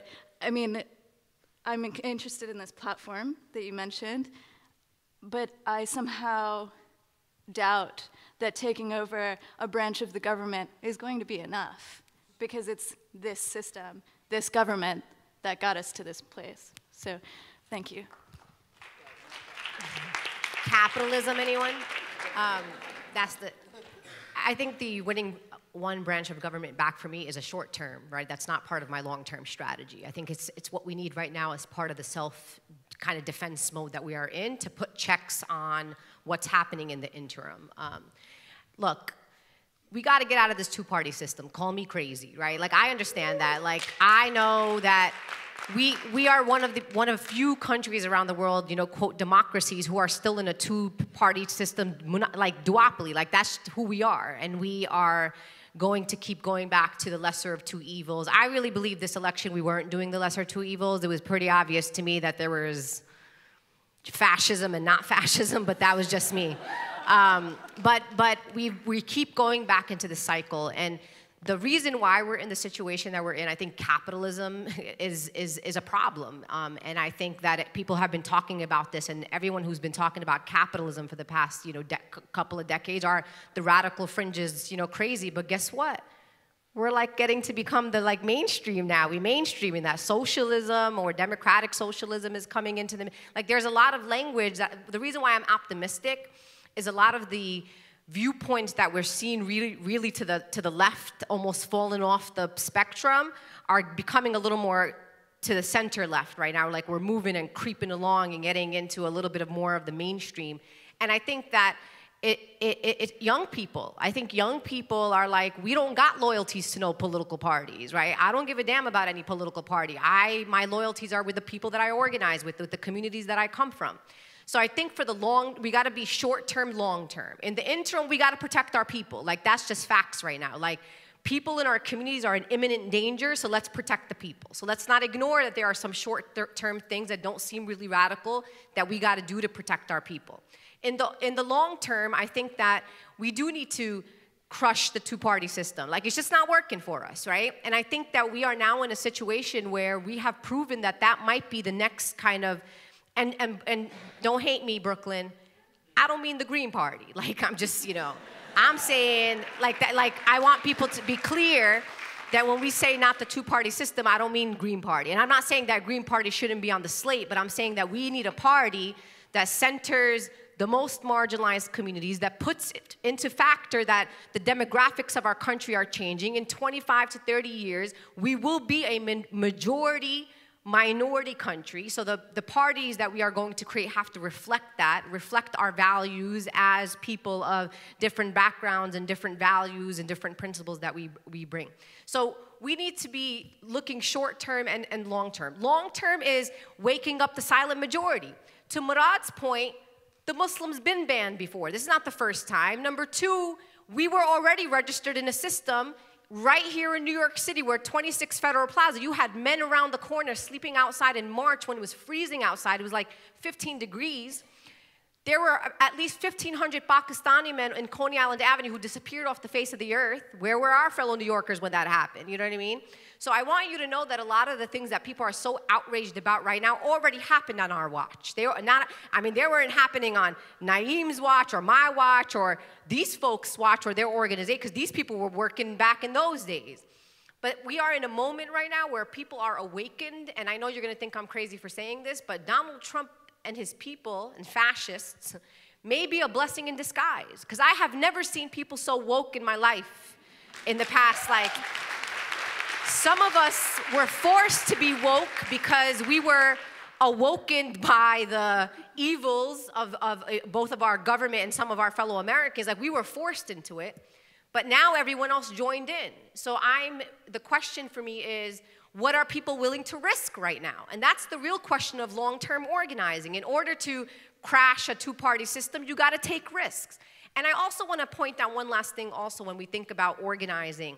We got to protect the people who are on the front lines, right? Because the people on the front lines right now, we're getting tore the hell up by the right wing. The right wing is so coordinated and organized, deleg- delegitimizing those on the front lines, Black Lives Matter activists, Black Lives Matter leaders, Muslim organizers and Muslim leaders, you know, uh, the, the alternative facts that you're talking about, those same media outlets that engage in fake news and alternative facts, guess what? They got White House press credentials. Like, we have to understand that we are under fascism already. It's not coming, or we're not trying to prevent it, it's here. The question is, what kind of long term organizing do we need that is revolutionary, re- revolutionary, that is radical? And I don't mean radical like the kind of word that the government uses radical, because that's why we are all being criminalized because we're radical. I'm talking about true radical organizing that gets to the root of the problem. And the question that you have to ask yourself to look at long term organizing is what are you willing to give up? You know how much stuff our community gives up every day we have to worry about? I just was out of the country. I didn't even post a picture from being out of the country because I didn't want the US government to know I was out of the country because I was trying not to get banned from coming back into the country. Like, why do I even have to think about that as an American citizen who actually carries no other nationality or at least a, a piece of paper other than an American passport? The question is, what are you willing to do that makes you uncomfortable? The Women's March on Washington, let's be real, people. I'm gonna put it out there as a national organizer. That shit wasn't uncomfortable. That was on Saturday. It was cute. You wore your pink hat. We were all together and it was great. But it, you really didn't give up much coming to the Women's March on Washington. So, what are you willing to give up for the long term? Could I could I just jump in on that as well? Um, I think Linda did an amazing job, like talking about the re- the reality we're in politically. I think um, if we you look at who voted for who, even in Brooklyn, you would have seen that some folks have voted for this man. Um, and I think this is a, a, conversation piece that is very uncomfortable to have with people, especially as uh, Palestinian American Muslim guy trying to have this conversation with some of the folks who I think might have voted for him, not passing any judgment. But let's be real. I think that racism is really it's it's become normalized more so than even I've ever seen it before, and I'm only like 30 years old. So maybe, you know, flashback to the 60s. Um, but the reality that we're in right now is that people need to have hard conversations with their and specifically white folks, need to have hard conversations within their community. Um, because the more that we keep talking about, like, how did we get here? Homeboy campaigned for a year on blatant racist shit and Islamophobic, xenophobic, like bigotry across the board. Like he did not spare anyone. You were Latino, you got it. You were Muslim, you got it. Like he did not leave anyone who was not white alone. And that has riled up the hate in this country. And I think that one piece that we have to have is not just the political angle, but like the community angle. And how do we build that up with the intention of actually changing hearts and minds as opposed to just winning elections? And that's the hard piece because we're in New York City. We can change a couple of folks' minds, but I think that this is a conversation, and this is what I've been telling gentrifiers, is that maybe you might want to go back to the Midwest where you came from and actually start organizing in the communities you left so that you can get your people woke, as woke as you are. Um, but that's just a thought. Um, and then, and, and really, we have to, every time, it, it's not just doing a you know, the bystander training stuff is really important, but it's not just that because when you when we see these microaggressions, we see them all the time, and no one really says anything about them um, in the workplace, in the train, at a library, at school, in this museum. Like we just need to be cognizant and aware that we have to call that shit out. And if we continue to like just be like, ah, that's not what they meant, or actually look at and and start looking at what privilege is doing within our communities, then I think that that is plus the political angle, but that is where how we start changing the situation we're in so that we never get back here. Yeah, this is very hard to follow, but I think that um, you know, I think long term, beyond looking at how we center um, communities that are most oppressed within political parties, um, I, you know, uh, I'm of the belief that I, you know, I would never rely on a political party to, you know, to affect change. I think that we have to center those that are most oppressed within our government and within our society. Um, there's never going to be a political party that completely aligns with all of our values.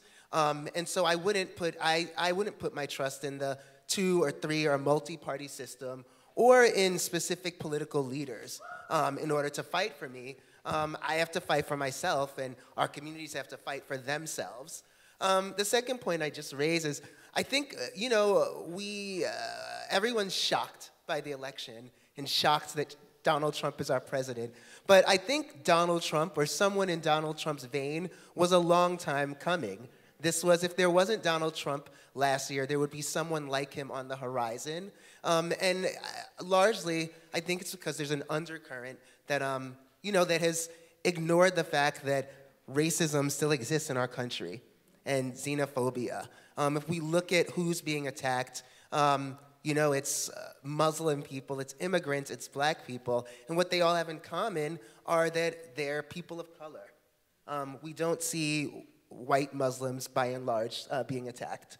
Um, we see Arab Muslims or brown Muslims. So I, I just think that um, we can't put our faith in the party system. We really have to focus on how our government and our society as a whole centers those that are the most marginalized. Yeah, I totally agree. Um, one of the things that I like to say is, um, is it from, you know, Finding Nemo, like fish are friend, not food, right? a politician is a target, not a friend. A politician, even when they're at their friendliest, is always a potential target, right? And one of the things I want to bring up is just as if you identify as a leftist, just as we on the left have been organizing our folks, the right has been organizing theirs. They've been having membership meetings, they've been having town halls, and I'd argue they've been more successful at popularizing their message than we have. Right? That's one of the reasons we are where we are right now. And the other thing is, um, so when we speak about solidarity, right? Um, as I mentioned for our hate-free zones, which you kind of also mentioned, like right now, the way we need to go forward to build community power is to build relationships with each other, right? So for our hate-free zones, the tag is love and protect each other. I think you all know where that comes from. Um, we can't be in solidarity with others if we don't love them, mm-hmm. right? And solidarity is not just something that we preach it actually has to be practiced. And it means being uncomfortable. It means sacrifice. One of the ways that we like to break it down in DRUM is in four levels. Like the first is the symbolic. You're coming out and you're saying you're in solidarity with another group. The next is very transactional. You're willing to turn out for one community if they turn out for you. Then the next is what we saw at JFK, right? Embodied solidarity. You, you are willing as an individual to put your body on the line to protect someone else. The last level, the fourth level, has to be transformative solidarity. It is all of those levels, but on a mass base. Us as communities are willing to do that for other communities, right? One example I'll use is when um, the comprehensive immigration reform was being pushed around, right? Our community in New York would have benefited from that, but we know that it was coming with a lot of enforcement. And enforcement means people along the border being targeted, being oppressed, and in fact would lead to people losing their lives, right? So we were turn to our community to talk about that, to be like, okay, this is what it would mean. Sure, it might mean that some of us get papers, but this is what would mean for the future of all of these folks along the border. And we were willing to make that sacrifice to not support that in that moment. That's a level that's not easy to sustain or easy to get to, right? It requires those constant relationship building within your community and outside of it. Uh, and one of the things around, like, as you mentioned, around being able to, you know, if you see something, being able to intervene or protect your community members, you, nobody knows how to just do that, right? You need the resources to be able to know what to do. If ICE shows up in your apartment building uh, making a ruckus, one of the tactics they will, do use is trying to embarrass someone from, to open the door. they'll make a lot of noise outside so the neighbors come on like, hey, what's going on? Hey, tell your neighbor to open the door. You know, we want you to sleep peacefully, but your neighbor, if they just let us in, will stop making noise, right? If you know that that's the kind of tactics they'll do, you know how to act. So as a part of hate-free zones, what we want to do is provide those trainings for everyone and really help build those relationships across communities. Hello. Thank you all so much for this incredible opportunity to hear these conversations. My name is Adjoa, and I'm the Director of Education here at the Brooklyn Museum. And one of the things that I wanted to ask you to speak to, um, we have an incredible team of educators, including teen educators, many of whom come from immigrant families um, also LGBTQ teens that are really helping us to kind of move forward the conversation of what is the link between the arts, this idea of a radical imagination, and social justice. So I wanted to ask each of you if you could speak both in particular to what you what has been your experience around youth-led movements and how youth are taking the lead in some of the, the initiatives that you've described?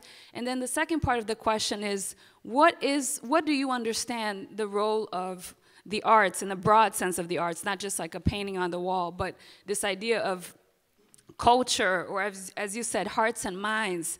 How do we understand the role of the arts in moving forward towards helping us to develop that imagination muscle, that creative process of seeing what we actually want outside the parameters of what we're given? Yeah, let's. Um, two or three of those questions? Sure. Okay, so ask a couple of other people questions. Okay, so we'll ask a couple of other questions so that, um, and then they'll all answer a couple of questions. Actually, So, luckily, the, Great question about the. about luckily it's actually entirely related because I'm, my question is, what advice do you have to folks who are organizing with students around um, immigrants' rights on campuses, and particularly those with very large immigrant, if not almost entirely immigrant communities? And we know, though of course we don't ask, large populations of DACA students. Um, and do you think that the Sanctuary Campus movement is one that we should continue to organize around? I mean, given the conversation we've been having about sanctuary cities also. So let's do that. Should we do uh, young people in the movement and culture? Go for it. Anybody want to take it? Go for it. Um, I think the art question of like how do we start activating um, artists within the movement is this resistance isn't really going to be won just in the streets, right? Um, we need every angle to be actually lifted up in this process, and I think that our expression and like protesting is a form of expression, but we also need to have multiple forms of expression showing our distaste and disgust for what's happening at the national level. Um, so I do think that arts, specifically from impacted people, is really going to start changing the way that we start seeing uh, experiences through other people's eyes. Um, and as a as a person who grew up organizing as a very uh, as a young person, um, I think that youth organizing is extremely transformational, and not just in the sense of like community transformation, but individually transformational for the person who's going through it. Um, and I think that once if it, you try to structure it in a way where uh, it's moving the person along with just one campaign that they're placed into as opposed to something that they want to work on um, that, that's really disheartening and then it actually turns people away so how do you build campaigns that are youth built and youth led um, making sure that they're moving forward on the sanctuary campus idea i think that that goes back to um, something Carl said earlier about the DOE sending home that letter um, to parents about like well if ICE comes we'll send them to the principal's office.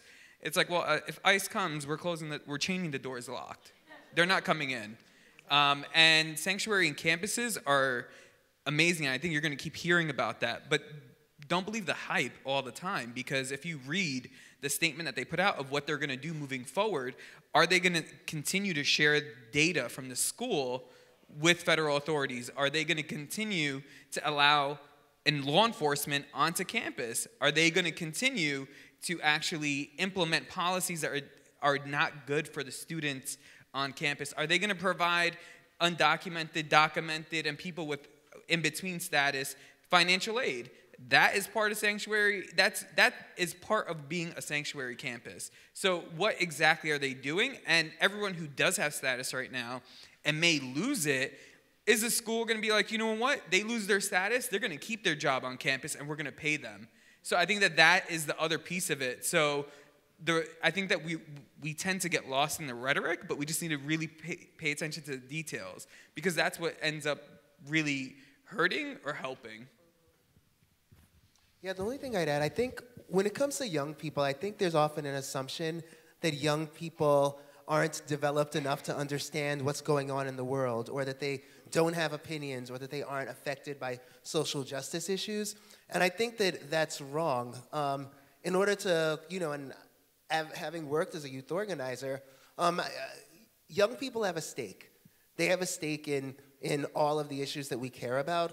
And they, uh, you know, I think our role, um, or the role of adults, is to help facilitate their involvement, but also to engage them as equals, as leaders. Um, the same way that, you know, you have to educate, you know, your grandma around the kitchen table is something that, you know, you should treat young people the same way, with the same amount of respect and, and, uh, and uh, at times swallow your pride in order to accept leadership from them. Um, because the most, the most powerful organizing that I've seen is when people that are directly impacted actually make decisions and, and play a leadership role, and when people um, like myself or those that aren't as impacted step back and take direction and um, you know swallow our pride and get our hands dirty. Just to the arts question, I don't know if people noticed, um, and it's happened throughout a lot of recent movements as well. And we saw it at the. We, I remember, you know, being so taken aback uh, during the climate march that happened in New York City, just the beautiful art that came out. And even at the Women's March, um, the Amplifier Foundation, we partnered with the Amplifier Foundation and the beautiful posters that came out um, really, uh, you know, just kind of aspirational. Art is an opportunity to do a few things. It's about giving people healing space and allowing people to use art as a way to heal. It's also a way to allow people to share their aspirations, whether it be through music or whether it be through actual art um, in the form of, you know, the posters that you saw, or even things as simple as people doing sign making parties. I mean, some of the most creative signs I've ever seen in my life were like during the Women's March, I was like, this is amazing, like what people were able to do. So I think oftentimes when we're in, in reactionary mode and we're in imminent danger, we think the arts become like the, like the last priority, when in fact that's what people may even need the most, a place to kind of reflect and, and, and, and, and put their, you know, what, what is it that we want? Sometimes people want, are able to reflect that through the art of what is, what, are, what is the world that you want to live in. And to the question about young people, and, and I remind people about this all the time, we think about someone like Congressman John Lewis, and we think Congressman John Lewis was that age, you know, 60 years ago. And some of the most powerful organizing, whether it be in contemporary now, in the past maybe 15, 20 years that I've seen, or when you look historically back in the context of American history, in particular the civil rights movement, we're talking about 17-year-old Diane Nash. You know, we're talking about J Congressman John Lewis, who oftentimes there was a lot of tension between him and the Martin Luther King crowd, who were maybe just a tad bit older than he was, and some of the, most, you know, the, the the counter sit-ins, the, the freedom rides, like that was young people, right? We just think about, we don't think about that now because we think of these people and we think of them only as adults in the way that we've been taught, when in fact those people were 17 and 18 and 19 year old college students um, and, and it's been it's been the way that we've been taught that people that you have to be some sort of like adult that has had some sort of life experience to be able to organize. And even recently, just a few days ago, you know, a young Palestinian Muslim girl who um, is from my organization uh, organized the student walkout um, in, you know, uh, in New York City. And, and, and when you looked at the crowd that came out, here's a young Muslim woman in hijab, and there were black students, and there were white students, and Latinos, and South Asians, and others who came out um, and did a walkout out of their school. And the question is, what is our education system? Are we supporting that? Are we going to penalize students who want to take the risk and organize and say, I am a young person that wants to stand for something? That's the question to our educators. It's a question to our New York City public school administrators. I mean, in light of, you know, Betsy DeVos, like, what are the teachers going to do? Like, what kind of examples are we going to set for the next generation? Are we going to stand for the privatization of our public education system? Our education system is already in shambles. Just imagine where we're going to go over the years and who's going to be losing here. It's going to be our next generations. And to Murad's point, I mean, I'm a parent of New York City public schools. Um, you know, I tell my kids what to do when they get to school. I said, you know what you need to do in your school? You need to make sure that every classroom has these posters on the doors, and they say, and, and it says, refugees welcome here, immigrants welcome here, whatever. And then my daughter takes her little pictures and makes sure that she did what she needed to do. Are we as parents, are we as parents who send our kids to New York City public schools, are we er, encouraging our young people to, to defy and maybe not defy, but to request to engage in some sort of organizing that reflects their values and how they're feeling as young people of color or even not a young people of color even if you're you know a young white girl and says you know what i'm feeling you know, upset about this. I want to do something about it. Are we allowing our public education system to encourage that type of organizing? So I think to, to end and say the most powerful organizing is going to have to be led by young people. We're going to have to respect their judgment and understand also that they come with less baggage and less loyalties than a lot of adults do. And they also are willing to take more risks than a lot of adults are. And the question is, are we going to allow them to thrive and create the very communities that they themselves are going to be the ones growing up in? And I think it is our responsibilities on multiple levels of the community whether or not we're going to allow that to happen.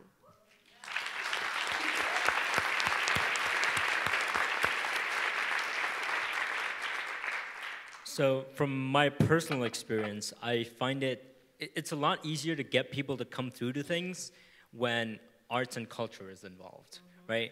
If I'm trying to sell people to come out to an action or a rally, that's a lot harder than to say like, hey, there's gonna be like music and dancing and like food and cultural stuff. But we need that. We need the cultural work that can bring people in and also politicize people, right?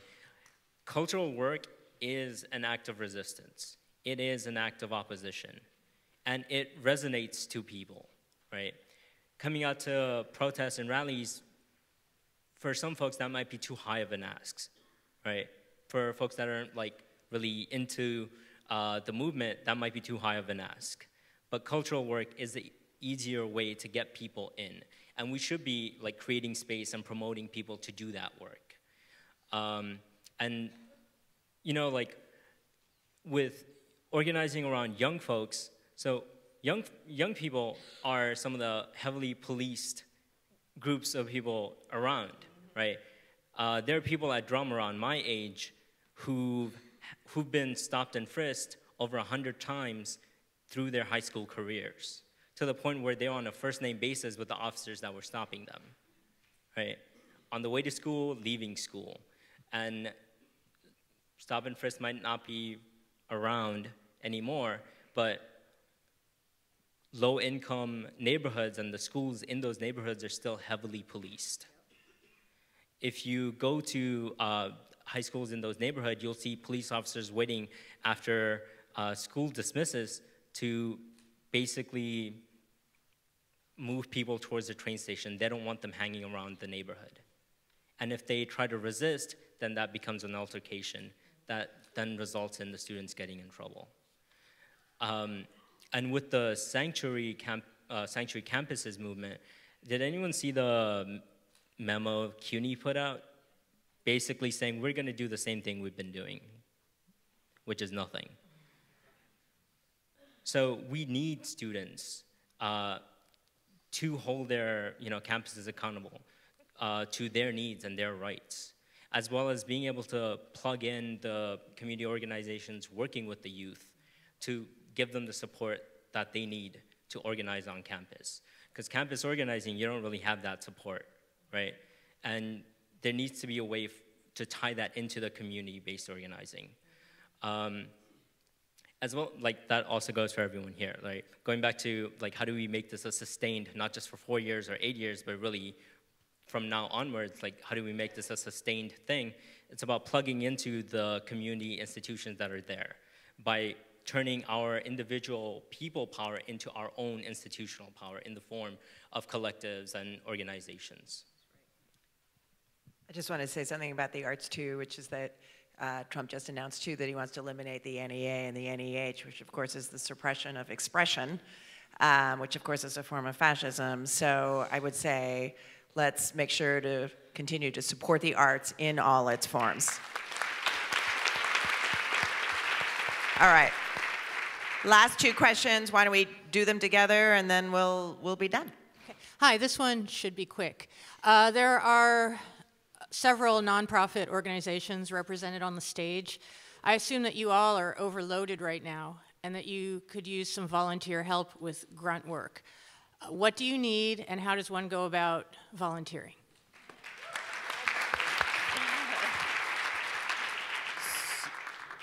So I think the okay. Next question. Yeah, let's do. Yeah. So uh, I was just really curious. What could a city like New York, which is on such a national stage, do better to be a sanctuary city? You know, if the federal government threatens them by taking away funding or something like that, how can they resist uh, something like that? Are they are other cities around the country barring schools from participating with ICE? I mean, what can we do to be better here in New York? Great, thank you. And then I, one, if, are you the last question? Uh, no, you, he, he's also asking questions. No, uh, yeah. um, I was wondering about organizing students in my school around like uh, immigration rights and also other issues. Um, a lot of students went, have been going to protests. Uh, I went with a group to the, the student walkout. Um, but like in terms of like tangible actions, people. in terms of like uh, tangible actions people can be taking, or like I could help organize people into taking. That's kind of the reason I came to this uh, meeting. Um, and in, uh, the things I pulled out from it were kind of like four, uh, four things, like uh, protests, creating like creating or like expanding spaces for people who are like hurt by these issues. Um, uh, maybe like uh, canvassing and people uh, like encouraging students to canvass in their neighborhoods, whether that's they're, whether they're living in a like an immigrant community and like connecting people to resources, or if they're living in like a more privileged community that I live in, like canvassing for like uh, fundraising and stuff. Um, and then uh, there was a fourth one. I just uh, um, that's great. I'm just, uh, so whatever. I'll skip that. Uh, I was wondering if you guys could. You obviously have a lot of personal experience. If you could speak to any of those points, or or get, or point me to other actions like uh, me and other students in my school could be taking. So great. Do you want to just go? Are you done? Um, one of the uh, one of the things that's been most discouraging in the last sorry to end on a down note um, in the last few months was um, Governor Cuomo vetoing a, a rather semi decent, not great, but at least a start uh, criminal justice reform package that would have increased. Um, you know, would have started up a bail fund for indigent, um, you know, basically it would have at least attempted to try and put some kind of um, um, more power in the hands of public defenders and, and provided a decent bail fund for people who couldn't afford to pay bail, it would have gone some way towards criminal justice reform. Uh, and then two days later, he says, you know, he's really, you know, pro-immigrant. So I, one of the things I've noticed over the last 30 years, which uh, Carl mentioned, this has been a long time coming, is that as the police have gotten more and more power, the courts have gotten sort of slow, have gotten progressively stripped of power to defend against the police. Um, is there are your organization sort of targeting uh, court side, uh, justice side, defense side uh, reform? So just um, thank you all so much. Um, it sounds like the uh, you know what can we do, building movement and the volunteer. I think those can kind of go together, and then maybe we can talk a little bit more about state reform. I do just want to say that. Um, well, all of these organizations are on the list, um, and I would encourage you to go to the Brooklyn Community Foundation site and look at our immediate response grants under our Immigration Rights Fund, as well as in our Invest in Youth, because our largest portfolio, in fact, is investing in young people. Um, so I'm really delighted to hear what everyone's saying here. And we do have a big focus on immigrant youth. This was long before Donald Trump was elected, um, but it's a great group of nonprofits listed there as well. And keep an eye on our site because we're going to continue to fund immigrant-led immigrant organizations in Brooklyn. Um, and take it upon yourself to call those organizations and say, how can I help? But I will also turn it to my colleagues here to, to find out how you can help. So ArabAmericanNY.org. um, I, I won't speak on behalf of everyone here, but I will say that um, we welcome volunteers. We have the largest adult education program in our district, um, so we're always looking for volunteers who want to help immigrant women, you know, study for their naturalization exams. It gives an, it's an opportunity to build relationships with people and for people to see people who are not Muslim, who want to come and support them uh, front desk assistants. I mean, we our organization's busting at the seams. We it is a community center. You're welcome to come. We're in, uh, located in Southwest Brooklyn in Bay Ridge. If you're an attorney um, and you have some extra time on your hands, um, we would love. To, we we just have so many people coming in and asking so many questions on people again with different immigration status in light of this ban. Um, again, while there while there's great news, but CBP doesn't always follow instructions or doesn't also always heed to what the law actually says or what any court says. So there's been a lot of people coming in with a lot of these questions. So if you have time um, to come, we, do, we have our own attorneys, but they're overwhelmed, underpaid, under-resourced. Um, we also, I mean, uh, the Brooklyn Community Foundation has been a pillar um, for our organization for many years, from the days it was called Independence something Community Bank Foundation or something. Um, but but also, you know, donations to our organizations um, individually um, is really um, helpful at this moment as we continue to not to be forced in a situation where we have to provide service. These people are coming to us because we speak their language, we live in their communities, we're from their communities. Um, so whatever resources you could provide, um, all donations to our organizations are tax deductible to the fullest extent of the law.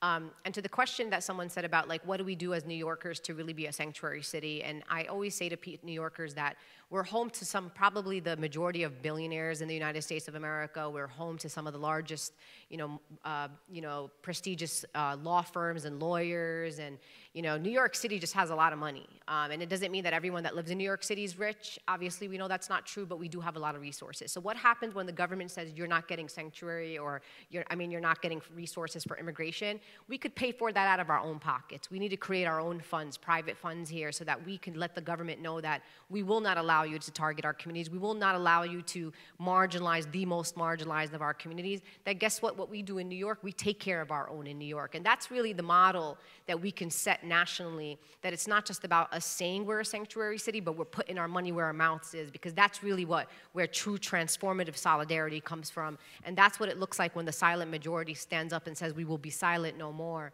We will serve those um, and we will serve our neighbors. And to the last question about Governor Cuomo, and I think uh, Nayim said this really in, in a way that I think is going to stick with me. There are, we got no friends. We got targets, and we also got people that are aspirational and want to run for president of the United States of America. So stay woke about when people are saying what you think is the right thing and when they're not saying what's, and when they're not doing the, the, the right thing. And remember also when our politicians are uplifting one community while throwing another community under the bus. And that's really important as we build solidarity. One thing that I realize in intersectional organizing is that if we're going to lose, we're going to lose together. If we're going to win, we're going to win together. Let us not win on the backs of each other and on the backs of the most marginalized communities, which is what these elected officials have been doing to us for way too long. So I've been losing for 15 years, and I'm good because I will lose on principles and values. But when I win, I want to know that when I won for my community, it was because I won with LGBTQ communities, because I won with black communities, because I won with women, and I won with Latino and undocumented communities. So let's win together, and let's make sure that these elected officials know that we're all on the same page, that we're all working together, and that we will not allow them to divide and conquer us uh, moving forward.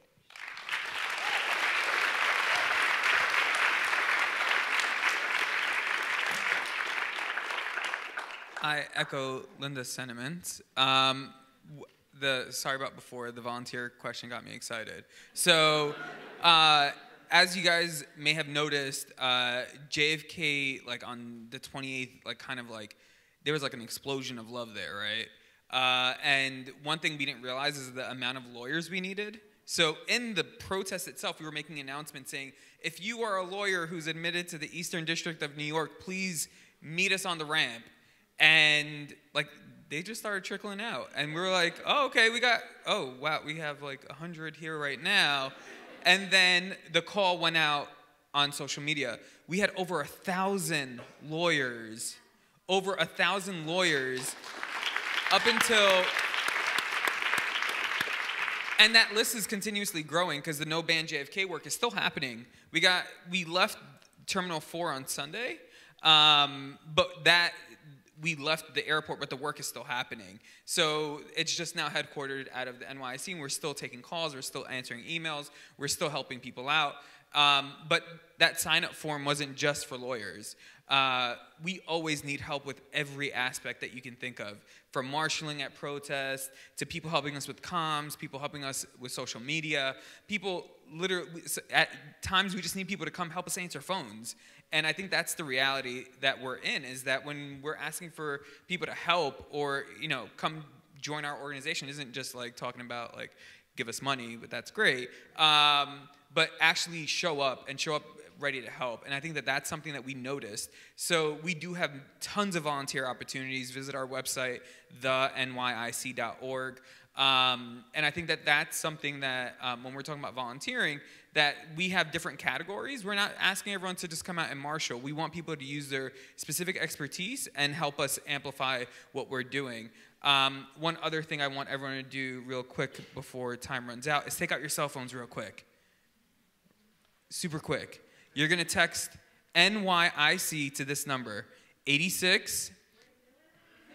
I'll say it a couple times, guys. It's okay. so, phones are out, you got them unlocked, you go to your text messaging messages app thing, you're texting this number 86 42 37, and the message you're sending to it is NYIC. So, once you do that, you should get an automated response saying, Thank you for signing up for messages from the New York Immigration Coalition. And what we do through that service is send out our action alerts and updates. So a lot of the work, as you guys may have noticed, has been ha, has been like literally within hours. So we're like, protest JFK, meet us at Battery Park at two o'clock in the afternoon, at 10 o'clock in the morning. So everything has been happening, and we're using different modes of technology. We want to see what's actually working. Text messaging has been really great, um, and we're going to do a little bit more in-depth analysis of like who's following us at some point, but we don't have time for that now. Um, the political aspect of the question um, that was asked at the end about Governor Cuomo is actually really interesting. So the New York Immigration Coalition, uh, what we do as a coalition and what our mission is, is to help. We're a coalition of uh, immigrant rights and immigrant-led organizations across the state. We have uh, I think like 130 last year. We ended it off with 200 members across the state from Western New York down to the East End, Long Island, with the majority of our members in uh, New York City. The, what we are is a political vehicle for our membership. Um, so our members tell us what our priorities are at the state, federal, and local level. Um, and one thing that was really disheartening to see when the state budget was announced, and I'm that kind of nerd who waits up till like about 10, 11 o'clock when it's, it's released online, and I run through it to see what was allocated where, um, was that there was literally everything that the governor had announced about the immigrant, uh, the immigrant defense project, no funding. ONA, the Office of New Americans, no increase. Um, like literally everything he had like come out and been really inspirational about after Trump's win was like, oh, you're doing the same thing again you usually do. So we have to continuously hold their feet to the fire. Um, and like Nayim said, what Linda's repeated is that none of them are our friends. And we have to realize that early on. And what people tend to forget is that elected officials are public servants. And the servants part is the really important one. They're there to represent us and to do what's best for us. Um, and sometimes they forget that, and we have to help them remember. Um, and once you sign up for our texting service, you'll come out and help us help them remember. Um, but our strategy moving forward at the city, state, and federal level is the federal level right now, we're like, okay, we just have to continuously fight back. Um, at the state and city level and at in different counties, um, we're figuring out how do we harden the city and the state from federal policies. And that is what our moves are for this year and next year. So we have like an 18 month plan of these policies, and you guys might have seen the Liberty Bill was introduced last Monday, barely passed, which was shocking, um, which is pretty much starting to build out um, the state not working with federal authorities. So that's that's one thing that people haven't really been paying attention to. That the state has always done it, but now we're pushing legislation to ensure that that, that does not happen anymore. Um, and this coming Monday, the Senate's introduction that it'll be introduced in the Senate, um, and I'm hoping followed by a vote that's successful, but that's still iffy. I can go. Okay, um, and so I will uh, end on an optimistic uh, mode, and um, by channeling my inner Obama. Um, but um, in all seriousness, um, you know, I think uh, we're in a crisis mode, which I know doesn't sound very optimistic, but we are in a we're in a we're in a crisis mode. We don't know what's to come. We know what's happened already and what's been threatened. Um, so you know, we need to remain alert and we need to act as though we're in crisis mode oftentimes, you know, I'm, I've been in your seats in the audience at events like this, and I tend to, you know, my mind's like, oh, that's great work they're doing. Um, I, you know, and I rely on those organizations that are on stage for information and to do the organizing and to do the lobbying and to, you know, to, to provide the donations, et cetera, um, without thinking of what I can do. And um, you know, uh, we're all organizers, we're all philanthropists, we're all advocates. Um, so if you're, uh, I define organizing in its most simplest term as, you know, coming together as a community to build power to win change. So uh, what that means is that if you in your chair can you know, talk to someone, talk to a friend, talk to a relative, and bring them to a rally with you, or bring them to a meeting with you, or bring them to an event like this, you're taking a step toward building power. So I think in, this, in these times, it's important that we all see ourselves as not just lawyers or artists or um, you know whatever we do but also as organizers similarly we're all philanthropists we don't need you know uh, obviously, I, you know, I wish George Soros was paying all of us up here 300 grand a year to do our work. He's not. Um, and, you know, uh, we hear philanthropists, we think of George Soros, we think of Warren Buffett and those people, but you're also a philanthropist. If you have $3 in your pocket, you can go to any of our websites and, you know, or not in your pocket, but on your credit card and donate and donate money to us, and you're doing your part. You're, hel- you're helping sustain social justice movements. And similarly, we hear a lot about corporate lobbyists. We hear a lot about the ACLU pressuring elected officials and groups taking buses to Albany. You can just walk in the office of your state senator or assembly representative or, or, or a congress, congressional rep and ask whoever's sitting there questions and express your concerns. You don't need our organizations to do that. You can do it yourself.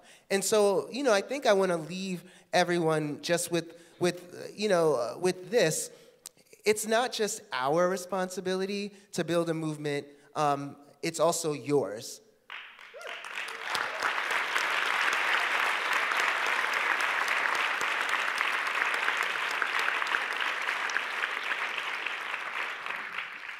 I just want to say thank you so much to all of you, and thank you very much to the Brooklyn Museum.